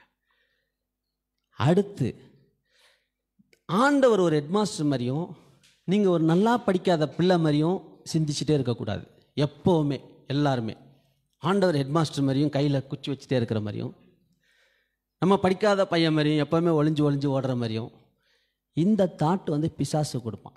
அதை நல்லா புரிஞ்சுக்குங்க. நம்முடைய உணர்வுகள் வழியாய் பிசாசு தொடுகிற நேரம். சில நேரத்தில் நம்ம சொல்கிறோம் இல்லையா? என்னன்னே தெரில ஒரு மாதிரி படபடப்பாக இருக்குது சொல்கிறீங்களா இல்லையா? அதுக்கு ரீசன் இருக்காது காரணம் இருக்காது. நம்மளும் எதுவும் செய்திருக்க மாட்டோம். ஆனால் ஒரு படபடப்பு இருக்கும். ஒரு பரபரப்பு இருக்கும். இதெல்லாம் ஏன்? நானே விரும்பலை என் உணர்வில் யார் உட்காந்து அந்த பயத்தை ஏற்படுத்துகிறா? என் நாலேஜே இல்லாமல் என் உணர்வை யார் தொடுறா? என் நாலேஜே இல்லாமல் எனக்கு ஏன் பயம் வருது? சொல்லானே தெரில பயமாக இருக்குது பயமாக இருக்குது நிறைய விசுவாசிகள் சொல்லுவாங்க. நிறைய பெரிய ஆட்கள் கூட சொல்லுவாங்க. பயமாக இருக்குங்க. சில நேரத்தில் சூசைட் பண்ணிக்கலாம் போல இருக்குங்க. ஆனால் வெளியில் பார்த்தா இவங்களா இந்த வார்த்தையை சொல்கிறாங்கன்னு இருக்கும். யாராக இருந்தாலும் உணர்வுகள் ஒன்று தானே யாராக இருந்தாலும் மனுஷன் தானே? யாராக இருந்தாலும் மாம்ச தேகமுள்ள மனிதர்கள் தானே? அப்போது உங்கள் உணர்வுகளை வாட்ச் பண்ண என்ன ஃபீல் பண்ணுறேன் நான் என்ன செய்கிறேன்னு இதை வாட்ச் பண்ண ஆரம்பித்தா பரிசுத்த ஆவியானவருக்கும் நமக்கும் சீக்கிரத்தில் ஒரு தொடர்பு உண்டாயிரும். எனி டைம் எப்படி இருப்பானா பவுல் சொல்கிறாரு பரிசுத்த ஆவிக்குள்ளே நிரம்பி இருக்கணுமா? ஆ? குடிகாரங்களை பார்த்துருக்கீங்களா? எப்படி இருப்பாங்க? அப்படி நிரம்பி அப்படியே மங்கி இருப்பாங்க பாருங்கள் ஆளுங்க. கண்ணெல்லாம் அப்படியே கஷ்டப்பட்டு திறப்பாங்க ஆனால் மங்கி இருப்பாங்க ஒரு விதமான மயக்கத்தில். இல்லை? ஏன்னா அந்த போதை உள்ளே போய் அவங்களே ஆட்கொண்டிருக்கும். பரிசுத்த ஆவியில் நிரம்பி இருக்கணும். ஹalleluya வேலை செய்யும் போதும் பரிசுத்த நிரம்பி இருக்கலாம். வண்டி ஓட்டும் போதும் பரிசுத்தாவில் நிரம்பி இருக்கலாம். எனி டைம் பரிசுத்தாவில் நிரம்பி இருக்கலாம். இப்படி இருந்தால் பயம் வராது. பரிசுத்தாவியானவர் பயத்தை உள்ளுக்குள் அனுமதிக்க மாட்டார். அப்போ இந்த வருஷத்தினுடைய கடைசியில் வந்துட்டா நீங்கள் முக்கியமாக செய்ய வேண்டிய வேலை என்னென்னா பேசாமல் வாயை மூடிட்டு தேவ சமூகத்தில் எவ்வளோ நேரம் முடியுமோ அவ்வளோ உட்கார பாருங்கள் இன்னும் எவ்வளோ நாள் இருக்கும் நமக்கு? ஒரு வாரம் இல்லையா? ஒரு வாரம் கூட முழுசாக இல்லை. இந்த இந்த கொஞ்ச நாளில் பேசாமல் அமைதியாக இருங்களேன். எப்பப்பெல்லாம் முடியுதோ போயிட்டு ஒரு பத்து நிமிஷம் கிடச்சா பரவாயில்ல. ஆஃப் அன் ஹவர் கிடச்சா பரவாயில்ல. ஒன் ஹவர் கிடச்சா பரவாயில்ல. சிக்ஸ் ஹவர்ஸ் கிடச்சா ரொம்ப சூப்பர் பேசாமல் போய் உட்காந்துருங்க நீங்கள் எதையும் திங்க் பண்ணக்கூடாது. நீங்கள் என்னது நம்ம திங்க் பண்ணுவீங்க? ஏற்கனவே என்ன படிச்சிருக்கோம் என்ன தெரிஞ்சிருக்கோம் அதை தானே திங்க் பண்ணுவோம். அங்கே போய் டைம் வேஸ்ட் ஆயிரும். ஒன்றுமே தெரியாதவ மாதிரி போய் என்னை அப்படியே பலிபீடத்தில் வைக்கிறேன்னு சொல்லி ஆபிரகாம் ஈசாக்கை கொண்டு போய் பலிபீடத்தில் போட்ட அந்த காட்சியை உங்கள் கண்ணு முன்னாடி கொண்டு வாங்க. அதேமாரி உங்கள் உடம்ப தூக்கி அதை போடுங்க பலிபீடத்தில் போடுங்க. கம்முன்னு இருந்துருங்க அமைதியாக அவியானவரே என்னை நீர் ஆற்றலும். நான் பலிபீடத்தில் என்னை நான் கிடத்திட்டேன். பலிபீடத்தில் என்னை நான் கிடத்திட்டேன். அப்படிங்கும் போதே அங்கே சுய விருப்பம் வெறுப்பு செல்ஃப் நம்மளுடைய காரியம் எல்லாத்தையும் அங்கே போட்டுருவோம். ஆவியானவர் அப்படி அசைவாடுவார். ஹலோ லூயா ஆவியானவர் அசைவாடுவார். பரிசுத்த ஆவியானவர் உங்கள் மேல் அசைவாடுவார். எப்படி மரியாள் மேல் பரிசுத்த ஆவியானவர் நிழலிட்டாரோ எப்படி கோழி அடை வைக்கும் போது அது தன்னுடைய முட்டைகள் மேலே உட்காந்து ஒரு அடை காக்கும் போது ஒரு எனர்ஜி கிரியேட் ஆகி முட்டைக்குள்ளே இருக்கிற அந்த வெள்ளைக்கரு மஞ்சக்கருவெல்லாம் கை கால் முளைச்சி ஒரு கோழி குஞ்சு ஆகுதோ அதே போல் பரிசுத்தாவியான ஒரு நிழலிடுவார். ஹalleluya பரிசுத்தாவியானவர் எப்படி பூமியானது ஒழுங்கின்மையும் வெறுமையுமா இருந்ததோ ஆழத்தின் மேல் இருள் இருந்ததோ அந்த நேரத்தில் பரிசுத்தாவியானவர் என்ன பண்ணார்? ஜலத்தின் மேலே அசைவாடி கொண்டு பாருங்க சொல்லும் போதே அபிஷேகத்தை ஒண்ணுகிறார் ரீபா ஹாந்தரா யாந்தராபா. பரிசுத்தாவியானவர் அப்படியே உங்கள் மேல் அசைவாடுவார். பரிசுத்தாவியானவர் அசைவாட விட்டா போதும். நீங்கள் அமர்ந்திருந்து பரிசுத்தாவியானவர் அசைவாட விடும்பொழுது வாழ்க்கை மாறும். உணர்வுகள் மாறும். சரீரத்தில் இருக்கிற வியாதிகள் மாறும். பலவீனம் மாறும். எல்லாம் நெகட்டிவ் திங்ஸ் அந்த பக்கம் எல்லாம் வெளியே போகும். பரிசு தாவியானவர் அப்படியே நம்ம டேக் ஓவர் பண்ணுவார். ஒரே ஒரு விஷயம் ஒரே ஒரு காரியம் என்ன அப்படின்னா கீழ்ப்படிதல். கீழ்ப்படிதல். கீழ்ப்படிதல். கம்ப்ளீட்டாக கம்ப்ளீட்டாக கீழ்ப்படின ஆண்டவருடைய சமூகத்தில் அப்படியே போய் கீழ்ப்படிதலோட அவருடைய சமூகத்தில் தாழ்த்தி அமரும் பொழுது அந்த பரிசுத்த ஆவியானவர் நம்மை என்ன பண்ணுவார்? பலப்படுத்துவார். இந்த இன்றைக்கு நம்ம ஆராதிக்கிறமே இந்த கட்டடம் இது கூட ரொம்ப சிம்பிளாலாம் நமக்கு வரல. என்ன பண்ணோம் அப்படின்னா நாங்கள் எய்ம் பண்ணோம். இது வந்து ஒரு மொட்டை மாடியாக தான் இருந்துச்சு. அப்போ நாங்கள் பேசிக்கிட்டோம் இதில் இது யாருதுன்னு தெரில. ஆனால் ஜெபம் பண்ணுவோம். ஷெட்டு போட்டு நம்மளே ஏதாவது ஒன்று பண்ணிக்கலாம். பர்மிஷன் கொடுத்து ஒரு ரெண்ட்டு அவங்க மினிமம் ரெண்ட்டு கொடுத்துட்டா போதும். நம்மளே கட்டி ஏதாவது பண்ணிக்கலாம்னு நினச்சோம். அப்போ தான் ஜான் கென்னடி பிரதர்ட்டு கேட்டேன். நான் நினச்சிட்டு இருந்தேன் இந்த இங்கே ஒரு ஹார்ட்வேர் கடை வச்சுருக்கிறாங்க அவங்களது தான் நான் நினச்சிருந்தேன். அவங்க இங்கே கீழே குடோனாக யூஸ் பண்ணிட்டு இருக்கிறாங்க நமக்கு தெரியாது டீட்டெயில் இது யாருது? இந்த ஓனர் யார்? கொஞ்சம் லைட்டாக அவங்கள்ட்ட கேட்டு பார்க்கலாமா அப்படின்னு சொன்னேன். அவர் சொன்னார் ரோஸ்லின் சிக்கன் அப்படின்னாரு. ஐயோ இது ரொம்ப சிக்கலாகி போச்சே. ஏன்னா அவங்க வந்து ஆர்சியில் ரொம்ப ஸ்ட்ராங்காக இருக்கிறவங்களாச்சே. அதனால் இது கொஞ்சம் ஆனால் கூட நம்ம ஆண்டவர் ஆராதிக்கிறதுன்னு கேட்குறோன்னு சொல்லிட்டு விசுவாசமாக இருந்தோம். பயங்கர விசுவாசமாக ஜெபம் பண்ணிக்கிட்டு இருந்தோம். அடிக்கடி இந்த இடத்துல வந்து ஒரு ரவுண்ட் அடிச்சுட்டு போவேன். அவங்கக்கிட்ட கேட்டோம். அவங்க அப்போ கூட என்ன சொன்னாங்கன்னா நேரிலே சொல்லிட்டாங்க தரமாட்டோம் அப்படின்னாங்க. அப்போவும் நாங்கள் விசுவாசித்தோம் அப்போவும் ஜெபம் பண்ணோம். கத்த அற்புதமாய் எந்த இடத்த டார்கெட் பண்ணுமோ அந்த இடத்துல தான் இன்றைக்கி உட்காந்துட்டு இருக்கோம். ஹலோ லூயா இதெல்லாம் எப்படி நடக்குது? அப்படின்னா ஒரு காரியத்தை நம்ம விரும்பி அதை தேவ சமூகத்தில் எடுத்துகிட்டு போய் விசுவாசத்தில் ஆபரகாம்ட்ட ஆண்டவர் சொன்னார். என்ன சொன்னார்னா தேசத்து நீளம் அகலம் எம்மட்டுமோ எம்மட்டோ அம்மட்டும் ம் நட நட ராஜா நட நட ராஜா நட நடந்துக்கிட்டே தெ- நடந்து தெரிய சொன்னார். என்னண்ணா நீ முதல்ல நட இது எனக்கு வேணும்னு நட இங்கே நான் இருக்கணும்னு நட அப்படி நடந்து திரிந்த தேசம்தான் இன்றைக்கி இஸ்ரேல் தேசமாக இன்றைக்கு நிற்கிறது. ஒரு சிறிய தேசமாக இருந்தாலும் இன்றைக்கி முழு உலகமே பார்க்கக்கூடிய ஒரு அசாத்திய திறமைகளை கொண்ட இஸ்ரேவேல் தேசமாக இங்கே நின்று கொண்டிருக்கிறது. கர்த்தர் உங்களுக்குள் என்ன செய்கிறார்? பாருங்க நான் வந்து எதையாவது நானே செய்யணும் நானே செய்யணும்னு செஞ்சுக்கிட்டு இருக்கிற வரைக்கும் கர்த்தர் எதையும் செய்ய மாட்டார். இல்லையா? உண்மைதானே? கர்த்தரை அனுமதிப்பதிலே ஒரு திறமை இருக்குது எனக்குள்ளே தேவனை அனுமதிப்பதற்கு ஒரு ஒரு திறமை வேணும். ஆண்டவரே என்னால் முடியல. என் பலன் பத்தாது. எனக்கு இது தெரியும். மற்றது தெரியாது. நான் செய்கிறேன் நீங்கள் செய்யுங்க எங்கள் ஊட்டியில் இருக்கும்போது எங்கள் ஃபேமிலியில் ஒருத்தர் இருந்தார். அவருக்கு படிக்க தெரியாது. சுத்தமாக படிக்க தெரியாது. தமிழே தெரியாது. ஆனால் கர்நாடகா போனால் அவர் எங்களை இங்கே இருந்து பெங்களூர் கூட்டிகிட்டு போவார். எங்கள் அம்மாலாம் ஆச்சரியப்படுவாங்க. ஏன் அப்படின்னா நமக்கு தமிழ் தெரியும் இங்கிலீஷ் தெரியும் கன்னடம் தெரியலனாலும் மேனேஜ் பண்ணலாம் போர்டு படிச்சு இல்லையா? அவருக்கு தமிழே படிக்க தெரியாது. ஆனால் கர்நாடகாலையும் அந்த மாதிரி அழகாக டீட்டெயிலாக பஸ் ஏற்றி கூட்டிகிட்டு கொண்டு வந்து போடுவார். எப்படி அப்படின்னா தெரிஞ்ச நமக்கு கொஞ்சம் அசால்ட்டு தானே இருக்கும் இல்லையா? தெரியாதவர்களுக்கு ஒரு ஒரு காரியத்தையும் உன்னிப்பாக கவனிப்பாங்க. அது சொன்ன மாதிரி அந்த கன்னடா எழுத்தெல்லாம் எப்படி இருக்குன்னு நினச்சி பாருங்களேன் அப்படியே கசகசன்னு இருக்கிற மாதிரி இருக்கும் நமக்கு இல்லை. ஆனால் அதையும் படித்து அவர் போயிடுறாருன்னா எவ்வளோ ஆச்சரியம். நாமும் எவ்வளோ கற்றிருந்தாலும் எவ்வளோ தெரிஞ்சிருந்தாலும் தேவ சமூகத்தில் வரும்போது பிளாங்க் ஆக்கிடணும். ஹலோ லூயா நீங்கள் கற்றுக் கொடுங்க ஆண்டவரே. நீங்கள் என்ன நடத்துங்க ஆண்டவரே.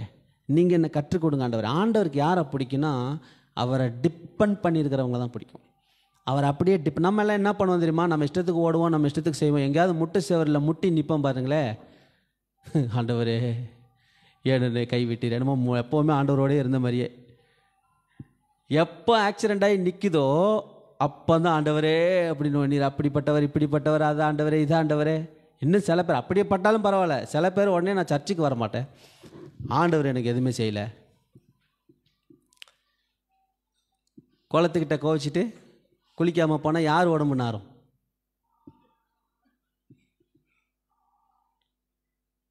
அந்த கோபத்தில் வந்து அர்த்தமே கிடையாது. ஆண்டவர் வந்து கோவப்பட்டாலும் அடித்தாலும் சரி ஆண்டவரே சாரி ஆண்டவரே இனிமேல் செய்ய மாட்டேன் ஆண்டவரேன்னு சொல்லி யார் காலில் உழுகுறாங்களோ அவங்க தான் ஆண்டவர் பயன்படுத்துவார். ஹால லூயா நம்ம ஆண்டவர் பார்த்தீங்கன்னா வேதத்தில் வசனம் மாறுமா மாறாதா? மாறாது இல்லையா? ஆனால் பாருங்கள் அவர் நினைவே அழிப்பேன்னு சொன்னார். சொன்னாரா இல்லையா? இவனை கூப்பிட்டு யோனாவை கூப்பிட்டு என்ன சொன்னார்? நான் அழிப்பேன் போய் எல்லார்ட்டையும் சொல்லினார் அவன் அப்பயே சொன்னான் ஆண்டவரே நீ இறக்கம் உள்ளவர் இரக்கமும் உருக்கமும் நீடிய சாந்தமும் கிருபையும் உள்ளவர் என்று சொல்கிறேன்லாம் சொல்கிறான் அவர் அப்போ கூட அதெல்லாம் கிடையாது நீ போய் சொல்லு அப்படின்ட்டார். இவன் போய் ஊர் ஊராக வீடு வீடாக போய் சொல்லிட்டான் அவசர அவசரமாக சொல்லிட்டான். ஏ எல்லோரும் சாக போகிறீங்க ஆண்டவர் சொல்கிறார் எல்லாம் சாக போகிறீங்க அவ்வளோதான் அவ்வளோதான் உங்கள் கதையெல்லாம் முடிஞ்சு ரெண்டு நாள் முடிச்சு முடிச்சு போய் சொல்லிட்டான். சொல்லிவிட்டு வந்துட்டார். இந்த மாதிரி இந்த மாதிரி நல்ல ஒரு மலை மேலே உட்காந்துட்டு நல்ல ஒரு மரத்துக்கட்டில் உட்காந்துட்டு வேடிக்கை பார்க்கறதுக்கு எல்லாம் அழிய போகிறத பார்க்கலாமே எப்படி அழியிறாங்க பார்க்கலாமே அப்படின்னு சொல்லிட்டு உட்காந்துட்டுருக்கான் இப்போ ஆண்டவர் என்ன பண்ணிட்டார்? பிளானை மாற்றிட்டார் மாற்றிட்டு இப்போ அவர் அழிக்கிற பிளான்லேருந்து ஆண்டவர் மாறிட்டார். அவர் தானே வாக்கு மாறாத தேவன் இல்லை? இப்போ ஏன் மாற்றினார் வாக்கு மாறாத தேவன் தானே? ஆனால் நம்ம என்ன பண்ணுவோன்னா இன்னொருத்தர் அட்டாக் பண்ணுறதுக்கு சொல்லுவோம். வாக்கு மாறாதவர் நீ அவ்வளோதான் அப்படின்னு. ஆனால் அவர் எப்படின்னா இறக்கம் உள்ள தெய்வம். அவர் சொல்லிட்டு மாற்றுவார் நன்மை உண்டாக மாற்றுவார் அதனால் தேவனை நியாயப்பிரமாணத்தின்படி பார்க்க வேண்டாம் வசனத்தின்படி பார்க்க வேண்டாம் அதை தாண்டி சுபாவத்தின்படி அவரை பார்க்க அணுகணும் பழகிக்கணும். ஹalleluya நீ நல்லவர் ஆண்டவரே. நான் எத்தனை அக்கிரமம் செஞ்சாலும் நீ நல்லவர் ஆண்டவரே. நீ என்னை மன்னிப்பீர் ஆண்டவரே. நீர் என்னை ஆசீர்வதிப்பீர் ஆண்டவரே. பிள்ளைங்கிற உணர்வோடு ஆண்டவர்கிட்ட வரணும். அதுதான் போன வாரத்துக்கு முந்தின வாரம் பேசணும் நம்முடைய உணர்வு எப்படி இருக்குன்னா பிள்ளை. நான் யார்? வீட்டில் போய் சொல்ல சொன்னேன். திரும்ப திரும்ப சொல்லுங்கள் பிள்ளை நான் பிள்ளை. அப்படி ஏன்னா புத்திரன். வேதம் சொல்லுது புத்திரன் இல்லையா? அப்படின்னா என்னவோ அப்படின்னு நமக்கு நிறைய பேர் தெரியறதில்ல. ஏன்னா அந்த வேர்டு வந்து அப்படி இருக்குது புத்திரன் அப்படிங்கிறதுனால அது என்னமோ அப்படின்னு நினச்சிக்கிறோம். பிள்ளை. பிள்ளையின் அப்பத்தை நாய்களுக்கு கொடாதிருங்கள் அப்படின்னாரு. அது என்ன சொல்கிறாருன்னா யூதனுக்கு தான் அந்த ஆசீர்வாதம் மற்றவங்களுக்கு இல்லை அப்படிங்கிறாரு. ஆனால் அதற்கு பிறகு அவர் சிலுவையில் அவருடைய மரணம் முடிஞ்சதுக்கப்புறமே புறஜாதிகளுக்கு தேவன் எல்லாருக்கும் தேவன் ஆனார் இப்போ நமக்கு தான் சொல்கிறாரு பிள்ளையின் அப்பம் நாய்களுக்கு கொடாதிருங்கள். நம்மளை அவர் பிள்ளைன்னு வச்சுட்டாரு நம்ம இன்னும் என்ன பண்ணுறோன்னா கெஞ்சிகிட்டே இருக்கும். எப்போ பார்த்தாலும் பிச்சைக்காரன் வரி இந்த சில பிச்சைக்காரங்க தான் இப்போ பாருங்க கிறிஸ்மஸ் அன்னைக்கு இந்த வைரியால் வந்துட்டாங்க. அதாவது எப்படின்னா சின்ன பையன் கூட அவன் நல்லா பேசுகிறான் அவங்க வீட்டில் அவங்க நாலு பேர் இறங்கி வராங்க நல்லா பேசுகிறான் ஆளை பார்த்தோன்னே ஏ அந்த வாய்ஸை மாற்றுறான் பாருங்க ஏ அப்படின்னா அங்கே நல்லா தான் ஸ்மார்ட்டாக தான் பேசுகிறான் டக்குன்னு அப்படியே டியூன் எல்லாம் மாற்றுறான் இல்லை ஏன்னா இந்த மாதிரி டோன் போட்டால் தான் அங்கேருந்து காசு வரும் அப்படின்னு அவனுக்கு பழகிட்டான். அவன் அதை கூட அந்த தொழிலை கூட கரெக்டாக தான் செய்கிறான்னு வச்சிங்களேன் நம்மளும் ஏன் தேவனை அடிமையாகவே அணுகி கொண்டிருக்கிறோம்? பிள்ளையா? புத்திரனா? உரிமையா? அப்பா எனக்கு செய்யுங்கப்பா. எனக்கு நீங்கள் தானே வாக்குத்தத்தம் கொடுத்துருக்கீங்கள உங்களை விட்டால் எனக்கு யார் செய்வான்னு சொல்லி ஆண்டவரிடத்துல கேட்போம். நம்முடைய உணர்வுகளை கவனிப்போம். நம்முடைய ஃபீலிங்ஸ் எப்போவுமே பார்க்கணும். நான் இப்போ எப்படி இருக்கேன்? நான் சந்தோஷமாக இருக்கிறேனா? நான் மகிழ்ச்சியாக இருக்கிறேனா? நான் கோபமாக இருக்கிறேனா? நான் எப்படி இருக்கிறேன் அப்படின்னு நீங்கள் அடிக்கடி ஒரு கேள்வி உங்களே நீங்கள் கேட்டுக்கிட்டா சீக்கிரத்தில் வாரங்களிலே மாதங்களிலே வருஷங்களிலே நம்முடைய சுபாவம் மாறிவிடும். இப்போ இந்த வருஷத்துல கடைசியில் இருக்கிறோம். நீங்கள் எவ்வளோ பேர் எத்தனை பவுன் நகை வாங்குனீங்க ஃப்ளாட் வாங்குனீங்க சேவிங்ஸ் எவ்வளோ வச்சுருக்கிறீங்க எத்தனை அக்கௌண்ட் வச்சுருக்கிறீங்க எத்தனை அக்கௌண்ட்டில் எவ்வளோ காசு இருக்குது அப்படின்னு நம்ம கேட்போம். கேட்டால் எல்லோரும் என்ன சொல்லுவான் இல்லையா? இதுதான் வளர்ச்சின்னு நம்ம நினச்சிட்ருக்குறோம் அப்படி பிசாசு ஏமாற்றி வச்சிட்டுருக்குறான் அதுவும் வளர்ச்சி தான். ஆனால் அதுதான் வளர்ச்சி இல்லை அதுவும் வளர்ச்சி. அதுதான் வளர்ச்சி அல்ல. உங்கள் கேரக்டர் எவ்வளோ மாறி இருக்கு? உங்கள் கேரக்டர் எவ்வளோ மாறி இருக்கு? அப்படின்னு கேட்டால் அதுக்கு சொல்லணும். என் சுபாவம் எவ்வளோ முதல்லாம் எங்கள் வீட்டுக்காரர் ஒன்று சொன்னால் நான் ஒம்பது பேசுவேன் பிரதர் இப்போல்லாம் பேசுகிறதே இல்லை பிரதர் இதுதான் சுபாவம் என்ன இருக்குது மாறு இருக்குது முதல்லாம் என் பக்கத்து வீட்டுக்காரன் வாழைப்பழ தோல் என் வீட்டில் வீசிட்டா நான் பதிலுக்கு பலாப்பழ தோல் தூக்கி அவன் வீட்டில் வீசுவேன் பிரதர் ஆனால் இப்போல்லாம் நான் மாறியிருக்கேன் சொல்கிறேம்மா அதுதான் அந்த சுபாவம் மாறிச்சினாலே சக்ஸஸ் ஏய் போன ஜனவரியில் நான் எப்படி கோவப்படுவேன்? இந்த டிசம்பரில் நான் எவ்வளோ மாறியிருக்கேன் ஆனால் விசுவாச வாழ்க்கை எப்படி தெரியுங்களா? நிறைய நேரத்தில் நம்முடைய ஈகோவே அடிபடும். நம்முடைய ஈகோ டேமேஜ் ஆகும். சுயம் டேமேஜ் ஆகும். சொல்லிக்கிட்டே இருக்கிறாரு. பேசிக்கிட்டே இருக்கிறாங்க இந்த அம்மா ஜப்பான் ஜப்பான்னு சர்ச்சுக்கு சர்ச்சுக்கு போகிறாங்க ஒன்றும் இல்லை. சொல்லுவாங்களா இல்லையா? பைபிளை தூக்கிட்டு போகிறாங்க ஒன்றும் காணோம். அதுவும் நல்ல தீவிரமாக இந்து குடும்பத்துலேருந்து வந்தால் முதலே நல்லா இருந்தான். மற்றவங்க சொல்லுவாங்க இல்லையா? அந்த ஈகோக்கெல்லாம் பயப்படக்கூடாது. ஆபரகாம பாருங்க அப்படி தான் இன்னும் கிறிஸ்து இயேசுவை பாருங்க. நீ தேவனுடைய குமாரனை ஆனால் பிசாசு கேட்கறான்ல எங்கே வந்து டச் பண்ணுறாங்க ப்ரிஸ்டேஜ் தான் டச் பண்ணுவான். நீ உண்மையாக பைபிள் பைபிளை தூக்குறவனாக இருந்தால் அது இன்னும் நிறைய பேர்ட்ட கிறிஸ்தவ குடும்பத்தில் வந்துடும் பிள்ளைங்க கொஞ்சம் ஜபத்தில் ஆரம்பிச்சாலே அம்மாங்களே ஆரம்பிச்சிடுவாங்க ஜபம் மட்டும் பண்ணு. பைபிளை மட்டும் சும்மா வாசி. அப்போ என்ன ஆகும்னா அது ஒரு பயங்கரமான அட்டாக் ஆயிரும். திரும்பி எழுவது எழும்புவதற்கு ரொம்ப கஷ்டம். ஒருவேளை நம்ம குடும்பத்தில் அப்படி பேசுனா கணவனோ மனைவியோ உங்களுக்குள்ளே எத்தனை சண்டை எத்தனை வாக்குவாதம் வந்தாலும் ஸ்பிரிச்சுவலாக அட்டாக் பண்ணாதீங்க. நீங்கள் உங்கள் பிள்ளைங்களை திட்டுங்க உங்கள் கணவனை திட்டுங்க உங்கள் மனைவியை திட்டுங்க பரவாயில்ல. ஆனால் அவங்க கேரக்டரை திட்டக்கூடாது. எதை திட்டக்கூடாது? கேரக்டரை திட்டக்கூடாது. நீ ஏன் இப்படி பண்ணுற நீ பண்ணுறதெல்லாம் சரியில்லை. அப்படி சொல்லுங்கள் அது மாதிரி செய்கிற இது மாதிரி செய்கிறேன்னு சொல்லிட்டு வேறெல்லாம் சொல்லி கேரக்டர் அட்டாக் பண்ணக்கூடாது. கேரக்டர் அட்டாக் பண்ணும்போது பிரச்சனை தான். இப்போ பாருங்கள் ஃபீலிங்ஸில் இப்போ நான் பாதிக்கப்பட்டிருக்கேன். என்னை ஒருத்தர் யாரோ ஃபோன் பண்ணி பயங்கரமாக கத்திட்டார். இப்போ நான் கரெக்டாக பட் ரோட்டுக்கிட்ட வரேன் கத்திட்டாரு. இப்போ நான் அடுத்து எங்கே போகிறேன் வீட்டுக்கு போகிறேன் நான் என்ன பண்ணுவேன் தெரியுமா? இங்கேருந்து வாங்கணும்ல? அதெல்லாம் அங்கே இறக்குறது. போன உடனே என்ன பண்ணுவோம்? எல்லாருக்கும் கொஞ்சம் பாதி பாதி இந்தா நீ கொஞ்சம் வச்சுக்கோ நீ கொஞ்சம் வச்சுக்கோன்னு எல்லாருக்கும் வீட்டில் எல்லாரையும் ஒரு வழி பண்ணி நான் ஒருத்தம் பட்ட பிரச்சனைக்கு என் குடும்பம் ஃபுல்லாக சீரழிஞ்சு எல்லாரும் வேதனையில் அன்றைக்கி ராத்திரி ஃபுல்லாக இதுதான் நிறைய வீட்டில் நடக்குது. நீங்கள் செய்த செயலுக்கு க உங்களுக்கு கிடைச்ச ரிவார்டை நீங்கள் தான் வச்சுக்கணும். நல்ல மனிதனாக இருந்தால் நல்ல மனுஷியாக இருந்தால் உங்களுக்கு கிடைச்ச அந்த காம்ப்ளிமெண்ட்டை யார் வச்சுக்கணும்? பரிசை. நம்ம தான் வச்சுக்கணும். அந்த காம்ப்ளிமெண்ட்டை போய் அங்கே இன்னொரு இடத்துல தள்ளக்கூடாது. அது வந்து அநியாயம். ஒருவேளை நமக்கு விரோதமான ஒரு காரியம் செல்ஃபை தனிப்பட்ட விதத்தில் அட்டாக் பண்ணுறான் ஏதோ ஒரு நடக்குது அப்படின்னா ஆராய்ந்து பார்க்க வேண்டும். ஆண்டவரே எந்த காரியத்தில் இன்றைக்கி நான் கேர்லெஸ்ஸாக இருந்துட்டேன்? நான் காலையில் சரியாக ஜெபிக்கலையா? இல்லை இன்றைக்கி பிசாசு கொஞ்சம் என்னை அட்டாக் பண்ணுறானே நான் சரியாக அவனை இது பண்ணலையா? வேலி போடலையா? அப்படி பார்க்கணும். உங்கள் உணர்வுகளை உங்களுடைய சுபாவத்தில் நீங்கள் மாறிட்டாலே பெரிய சக்ஸஸ் உண்மை தானே இப்போ சின்ன பிள்ளைங்க கையில் பிளேடோ சேவிங் ரேசரோ கொடுப்போமா? கொடுக்க மாட்டோம். ஏன் அப்படின்னா அதுங்களுக்கு மெச்சூரிட்டி இல்லை. இது என்ன பண்ணணும்னு தெரியாது. உடனே என்ன பண்ணுவோம் காயப்படுத்திடும் கொடுக்க மாட்டோம் இல்லையா?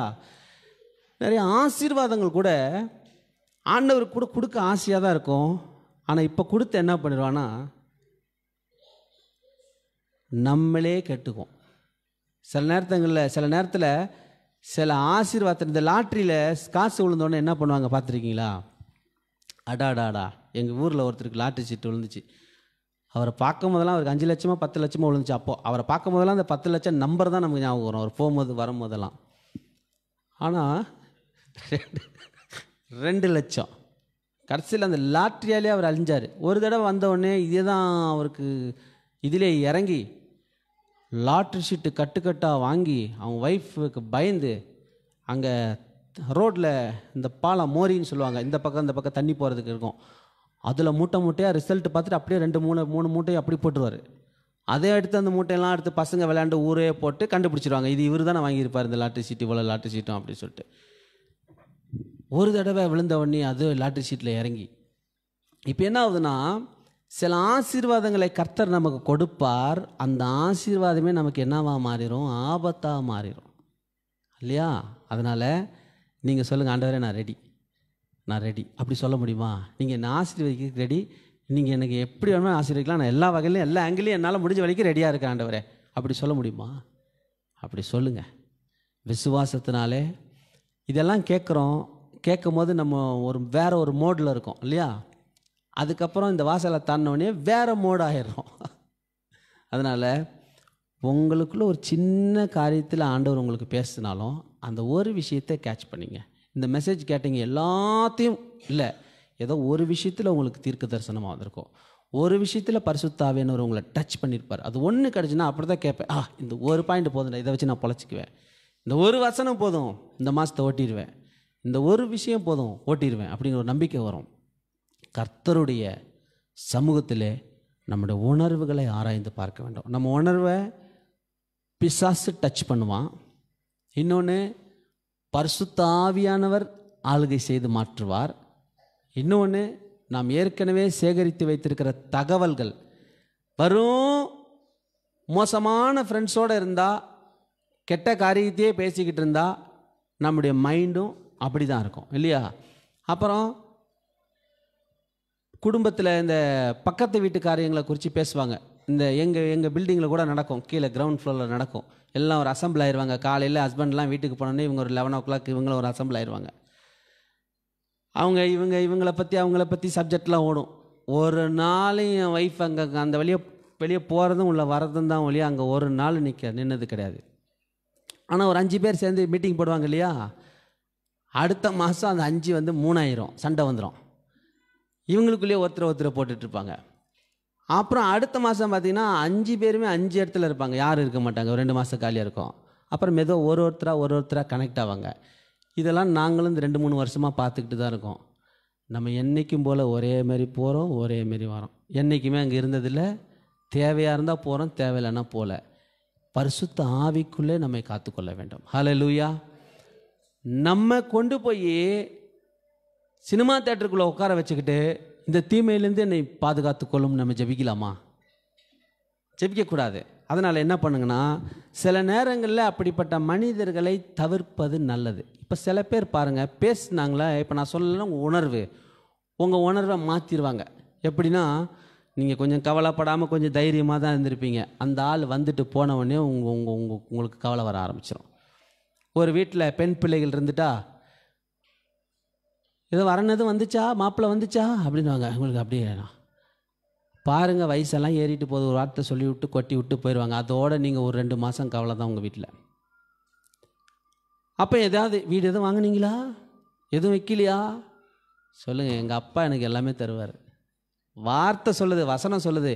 நீ கட்டாத வீடு நீ நடாத திராட்சை தோட்டம் நீ தோண்டாத துறவு எல்லாத்தையும் கத்தர் தரார். ஹalleluya வசனத்தை விட இன்னொரு ஆள் ஒன்றும் பெருசாக சொல்லிட முடியாது.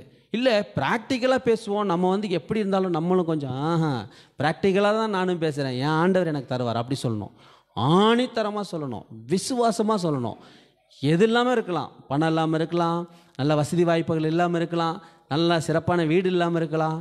விசுவாசம் இல்லாமல் இருக்கக்கூடாது. ஹalleluya விசுவாசம் இல்லாமல் இருக்கக்கூடாது.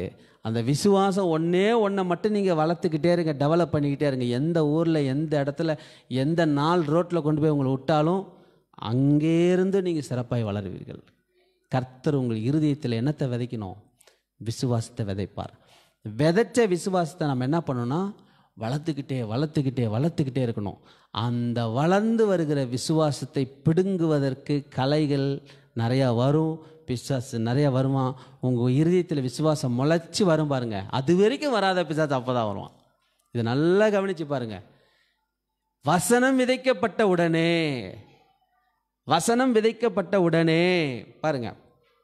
பிசாசு வருவான். நீ எப்போ வசனம் நல்லா விதைஞ்சிருச்சுடா என் விதை விதை விதைத்தாயிற்று என் மனசில் விசுவாசம் வருதுன்னு நீங்கள் நினைக்கும் போது அடுத்து அப்படியே பிசாசு என்ட்ரி ஆவான். அப்படி என்ட்ரி ஆனால் இனிமேல் நீங்கள் கவலைப்படாதீங்க. என்னென்னா ஒர்க் அவுட் ஆயிடுச்சு இப்போது நான் நல்லா தான் வசனம் கேட்டிருக்கேன். வசனம் நல்லா தான் விதைச்சிருக்கு. நாங்கள் இங்கே சென்னை வந்தப்போ ஒரு முதல்ல ஒரு வீட்டில் இருந்தோம். அப்போ எங்கள் அம்மா எல்லாம் வரல. நானும் என் தம்பி மட்டும்தான். கொஞ்சம் பொருள் தான் இந்த சேரு கொஞ்சம் பேசிக்காக பொருள் மட்டும் வாங்கி வச்சுருந்தோம். ஏன்னா ஊர்லேருந்து இதுக்கப்புறம் தான் ஜாமான்லாம் வரணும் மெட்ராஸுக்கு வரணும். ஒரு நாள் பகலில் ஜெபம் பண்ணிகிட்டே இருந்தேன். ரொம்ப துன்மார்க்கமான வாழ்க்கையை வாழ்ந்து தான் ஆண்டவருக்குள்ளே வரேன். பகலில் ஜெபம் பண்ணிகிட்டே இருக்கும்போது ஏதோ ஒரு அசுத்தாவி மாரி போட்டு என்னை அமுக்கிருச்சு. நானும் ட்ரை பண்ணுறேன் பாயில் தான் படுத்திருக்கிறேன். ஒரு சேர் இந்த மாதிரி சேர் ஒன்று இருக்குது அந்த சேரை எடுத்தாவது அடிக்கலாம் ஏதாவது செய்யலான்னு பார்க்குறேன் என்னால் ஒன்றுமே பண்ண முடியல. ரொம்ப நேரம் சத்தம் போட்டு ஒரு கட்டத்தில் வந்து அப்படியே ரிலீஸ் ஆகிட்டேன் அதுக்கப்புறம் என்ன பண்ண தெரியுங்களா? எந்திரிச்சு நான் பட்ட சந்தோஷத்துக்கு அளவே இல்லை. என்னையும் ஒரு மனுஷனாக மதித்து பிசாசு வந்திருக்கிறான்டா அப்படின்னு. அப்போ எஸ்ஏகே பிரான்சிஸ் அவருடைய டீச்சிங் நிறைய கேட்போம். அவர் சொல்லுவார் நீ ஜெபம் பண்ணி உனக்கு விரோதமாக எலும்பில் பிரச்சனை வரலன்னா நீ உன் ஜெபமே வேஸ்ட்டுன்னு அர்த்தம் அப்படின்னுவார். நீ வான மண்டலங்களில் இருக்கிற பொல்லாத ஆவிகளுக்கு விரோதமாக உன் ஜெபம் எலும்பி இருந்துச்சுன்னா உனக்கு விரோதமாக சேனைகள்லாம் கிளம்பி வரும். அதுலேயே நீ தெரிஞ்சுக்கலாம் நீ வர்த்துன்னு நினச்சிக்கலாம் உன் ப்ரேயர் வர்த்துன்னு நினச்சிக்கலாம் அப்படிங்குவார். ஆஹா நம்மளே மதித்து ஒரு பிசாசு வந்திருக்குன்னா இப்போ தாண்டா நம்ம வர்த்து அப்படின்னு சொல்லி பயங்கர சந்தோஷம் எனக்கு. யார்ட்டையாவது கூப்பிட்டா எனக்கு பேய் வந்து அமுக்கிச்சு. அப்படி சொல்லலாம் போல இருக்கும். ஆனால் என்ன நினைப்பாங்க? ஆனால் அப்படி தான் போய் எனக்கு சொல்லியிருந்திருப்பேன். அவங்க என்ன நினச்சாங்களோ தெரில ஆனால் இன்றைக்கு உங்கள் விசுவாசத்தை பார்த்து உங்கள் ஜபத்தை பார்த்து உங்களுக்குள்ளே இருக்கிற அனலை பார்த்து சத்துரு நாலு பக்கமும் வரணும். அப்போ என்ன நினைக்கலாம்னா நான் எலும்பிட்டேன் அப்படின்னு. அப்படியே கண்களை மூட்டுவோம். ஹால லூயா ஸ்தோத்திரம் ஆண்டவரே. ஹௌரியா மஹாந்தியாந்தியா ரபுஷலர் அந்தரபா இந்த வருஷத்தினுடைய கடைசி பகுதியில் எங்களை கொண்டு வந்திருக்கிறீராப்பா இந்த வருஷத்தில் கடைசி நேரத்தில் வந்திருக்கிறோம். நாங்கள் அமைதியாக உம்முடைய சமூகத்தில் அமர்ந்திருக்க எங்களுக்கு கிருபை தாரும். கழுகை போல பலனடைய வேண்டும். கழுகை போல பலனடைய வேண்டும். கழுகை போல பலனடைய வேண்டாம் ஆண்டவரே. ஹோர மந்தியா ரபூஷல் காரியாந்தரபா இயற்கைக்கு அப்பாற்பட்ட காரியத்திற்குள்ளே எங்களை நீங்கள் நடத்துங்கப்பா. வசனம் சொல்கிறது எங்கள் வாழ்க்கையாக மாறணும் ஆண்டவரே. நீ அநேக ஜாதிகளுக்கு கடன் கொடுப்பா என்று சொன்னீரே. அதை ஆண்டவர்கிட்ட சொல்லுங்கள் இந்த வேலையில் கர்த்தர் உணர்த்துறார். நீ அநேக ஜாதிகளுக்கு கடன் கொடுப்பாய் என்று சொன்னீரே. என் வாழ்க்கையில் அது நடக்கும் ஆண்டவரே. நான் அநேகருக்கு கடன் கொடுப்பேன். என் வாழ்க்கையில் அது நடக்கும். வார்த்தை என்ன சொல்லுகிறதோ அது அப்படியே நடக்கும். நீ கீழாகாமல் மேலாவா என்று சொன்னீரே. நான் மேலா இருப்பேன். என் வீடு அநேகர் வந்து அடைக்கலமாய் தங்குகிற ஒரு ஆலமரத்தை போல இருக்கும் ஆண்டவரே. என் வீடு சத்தியத்திற்கு தூணும் ஆதாரமா இருக்கும் ஆண்டவரே. நானும் என் பிள்ளைகளும் கனி கொடுப்போ பிள்ளைகள் பந்தியை சுற்றின ஒலிவ மர கன்றுகளைப் போல இருப்பார் அது அப்படியே தரிசனமா சொல்லுங்க அது அப்படியே விசுவாசமா சொல்லுங்க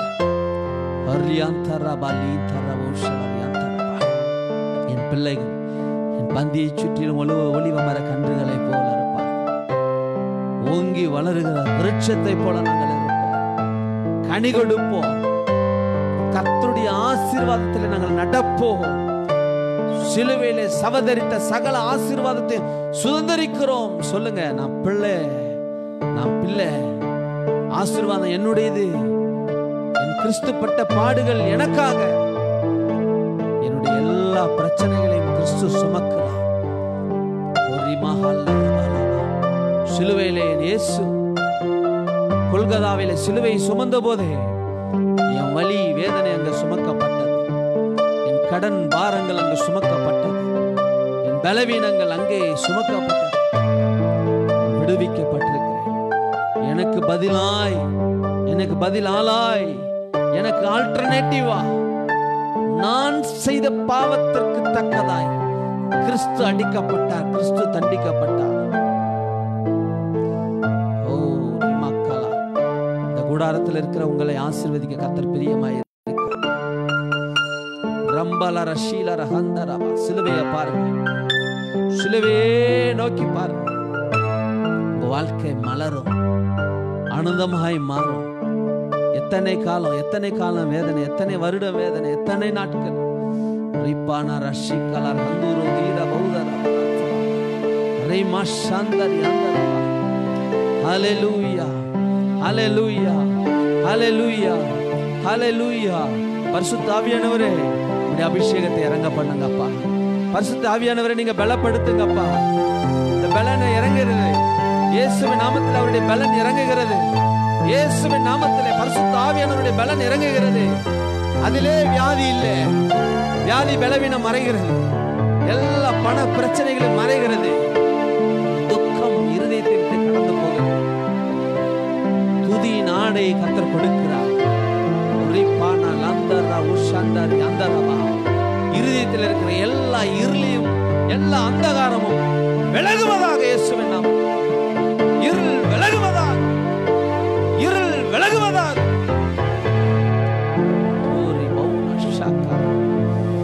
ஓ தேவ மகிமே. தேவ மகிமே. பரிசு தாவியானவர் நிழலிடுவீராக. பரிசு தாவியானவர் நிழலிடுகிறார். அவரிடத்தில் அடைக்கலமாய் வந்திருக்கிறோம். நம்மை தம்முடைய சிறகுகளினாலே மூடி வைத்திருக்கிறார். பிள்ளைங்கிறார் ஆண்டவர். பிள்ளைங்கிறார். மற்றவர்கள் உங்களை குறித்து காயப்படுத்தி இருந்த கவலைப்பட வேண்டாம். கர்த்தரே சொல்றார் என் பிள்ளைன்னு சொல்றாரு. தேவனே சொல்றாரு என் பிள்ளை யார் இல்லை எனக்கு நினைக்க வேண்டாம். தனிமையா இருக்கிறேன் என்று நினைக்க வேண்டாம். ஓரா மஹால் தர் ஹalleluya ஹalleluya ஹalleluya ஹalleluya. இந்த பரிசுத்தாவியானவருடைய வல்லமையும் மகிமையும் நம்மை ஆட்கொண்டு இருக்கிறது ஆண்டவரே நன்றி. என் உணர்வுகளை உங்களுடைய கருத்தில் கொடுக்குறேன்னு சொல்லுங்கள் என் உணர்வுகளில் நீங்கள் தான் இருக்கணும். என் உணர்வில் நீங்கள் தான் இருக்கணும். என் உணர்வில் பரிசுத்தாவியானவருடைய பிரசன்ஸ் தான் இருக்கணும். ரீ மாஷாங் தெரி ஹத்தாரா தியாரா தேனா தானா தானா தானா தானா ஒலி பவுனர ஹந்தரா தியாரா பதரா பரா பரா. வரவேணும். பரநாவியே இறங்கும் சுடராய் மேவியே. வரவேணும். பரநாவியே இறங்கும் சுடராய் மேவியே. பலிபீடத்தில் என்னை பலியாக வைத்தே. சொல்லுங்க. பலிபீடத்தில் என்னை பலியாக வைத்தே. இன்றே வானாக்கினி வர வேண்டும். வானாக்கினி இறங்கி வர வேண்டும். அந்த பலியை பட்சிக்க கிடத்தி இருக்கிற ஈசாக்கை போல கிடத்தி இருக்கிற அந்த பலியை பட்சிக்க இன்றே வானாக்கினி வர வேண்டும் வர வேண்டும். பரநாவியே இறங்கும் சுடராய் மேவியே வரவேணும் பரநாவியே இறங்கும் சுடராய் மேவியே. அலலூய ஹலலூய ஹலலூய ஹலலூய ஹலலூய ஹலலூய ஓரி பபதன மரபதனி மரபதனி அரபத ரபரபத ரபரி வந்த ரபர வந்த ரபந்த ரபரபா ஹலலூய ஹலலூய ஹலலூய ஹலலூய ஹலலூய ஹலலூயா பரிசுத்தாவியானவர் இடத்துல நம்ம ஒப்பு கொடுப்போமா பரிசுத்தாவியானவர் நம்மை நடத்தி கொண்டிருக்கிறார் பரிசுத்தாவியானவர் நம்மை நடத்தி கொண்டிருக்கிறார் ஹalleluya ஹalleluya ஹalleluya ஹalleluya ஹalleluya ஹalleluya ஹalleluya ஹalleluya ஹalleluya ஹalleluya ஹalleluya உரபாபாபா நியாஷடரி ஹந்தரி அந்தரோ ரிபன மரபதனி மரபதினி மரபதர பரபரபா பலமான எப்பாவமும் பாழாக்கும் மனோய்களும் வலிய கொடும் ரோகமும் மாம்ச சிந்தை ஓடுமே அவருடைய சமூகத்தில் பரிசுத்தாவியானவர் இறங்கி வந்தா பாவ சிந்தை மறைந்து போகும். பாவ எண்ணங்கள் எல்லாம் நம்மை விட்டு அகன்று போகும். பலிபீடத்தில் என்னை பலியாக வைத்தேன் சொல்லுமா?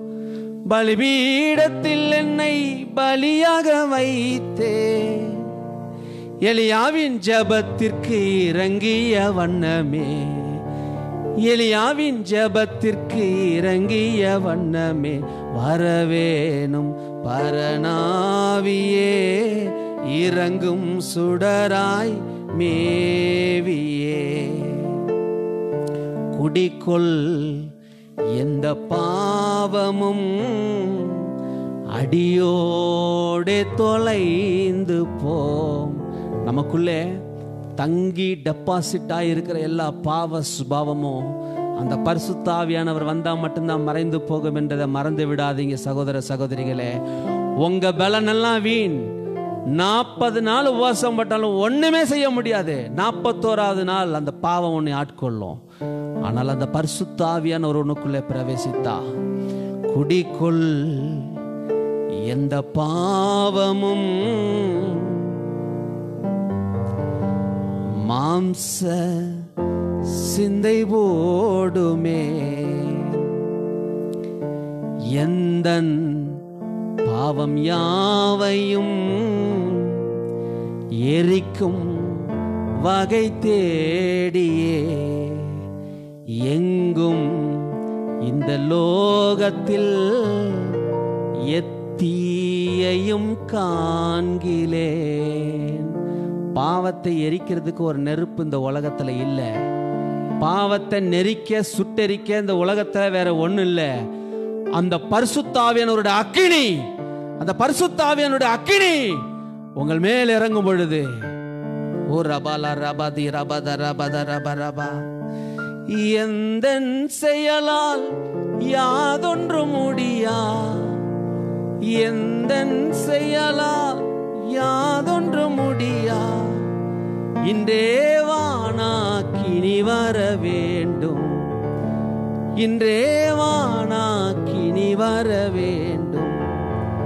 எளியாவின் ஜெபத்திற்கு இறங்கிய வண்ணமே வரவேணும் ஆவியே. இறங்கும் சுடராய் மேவியே. அந்த அக்கினியை பார்ப்போமா? அந்த அக்கினிக்குள்ளே அப்படியே பிரவேசிப்போமா?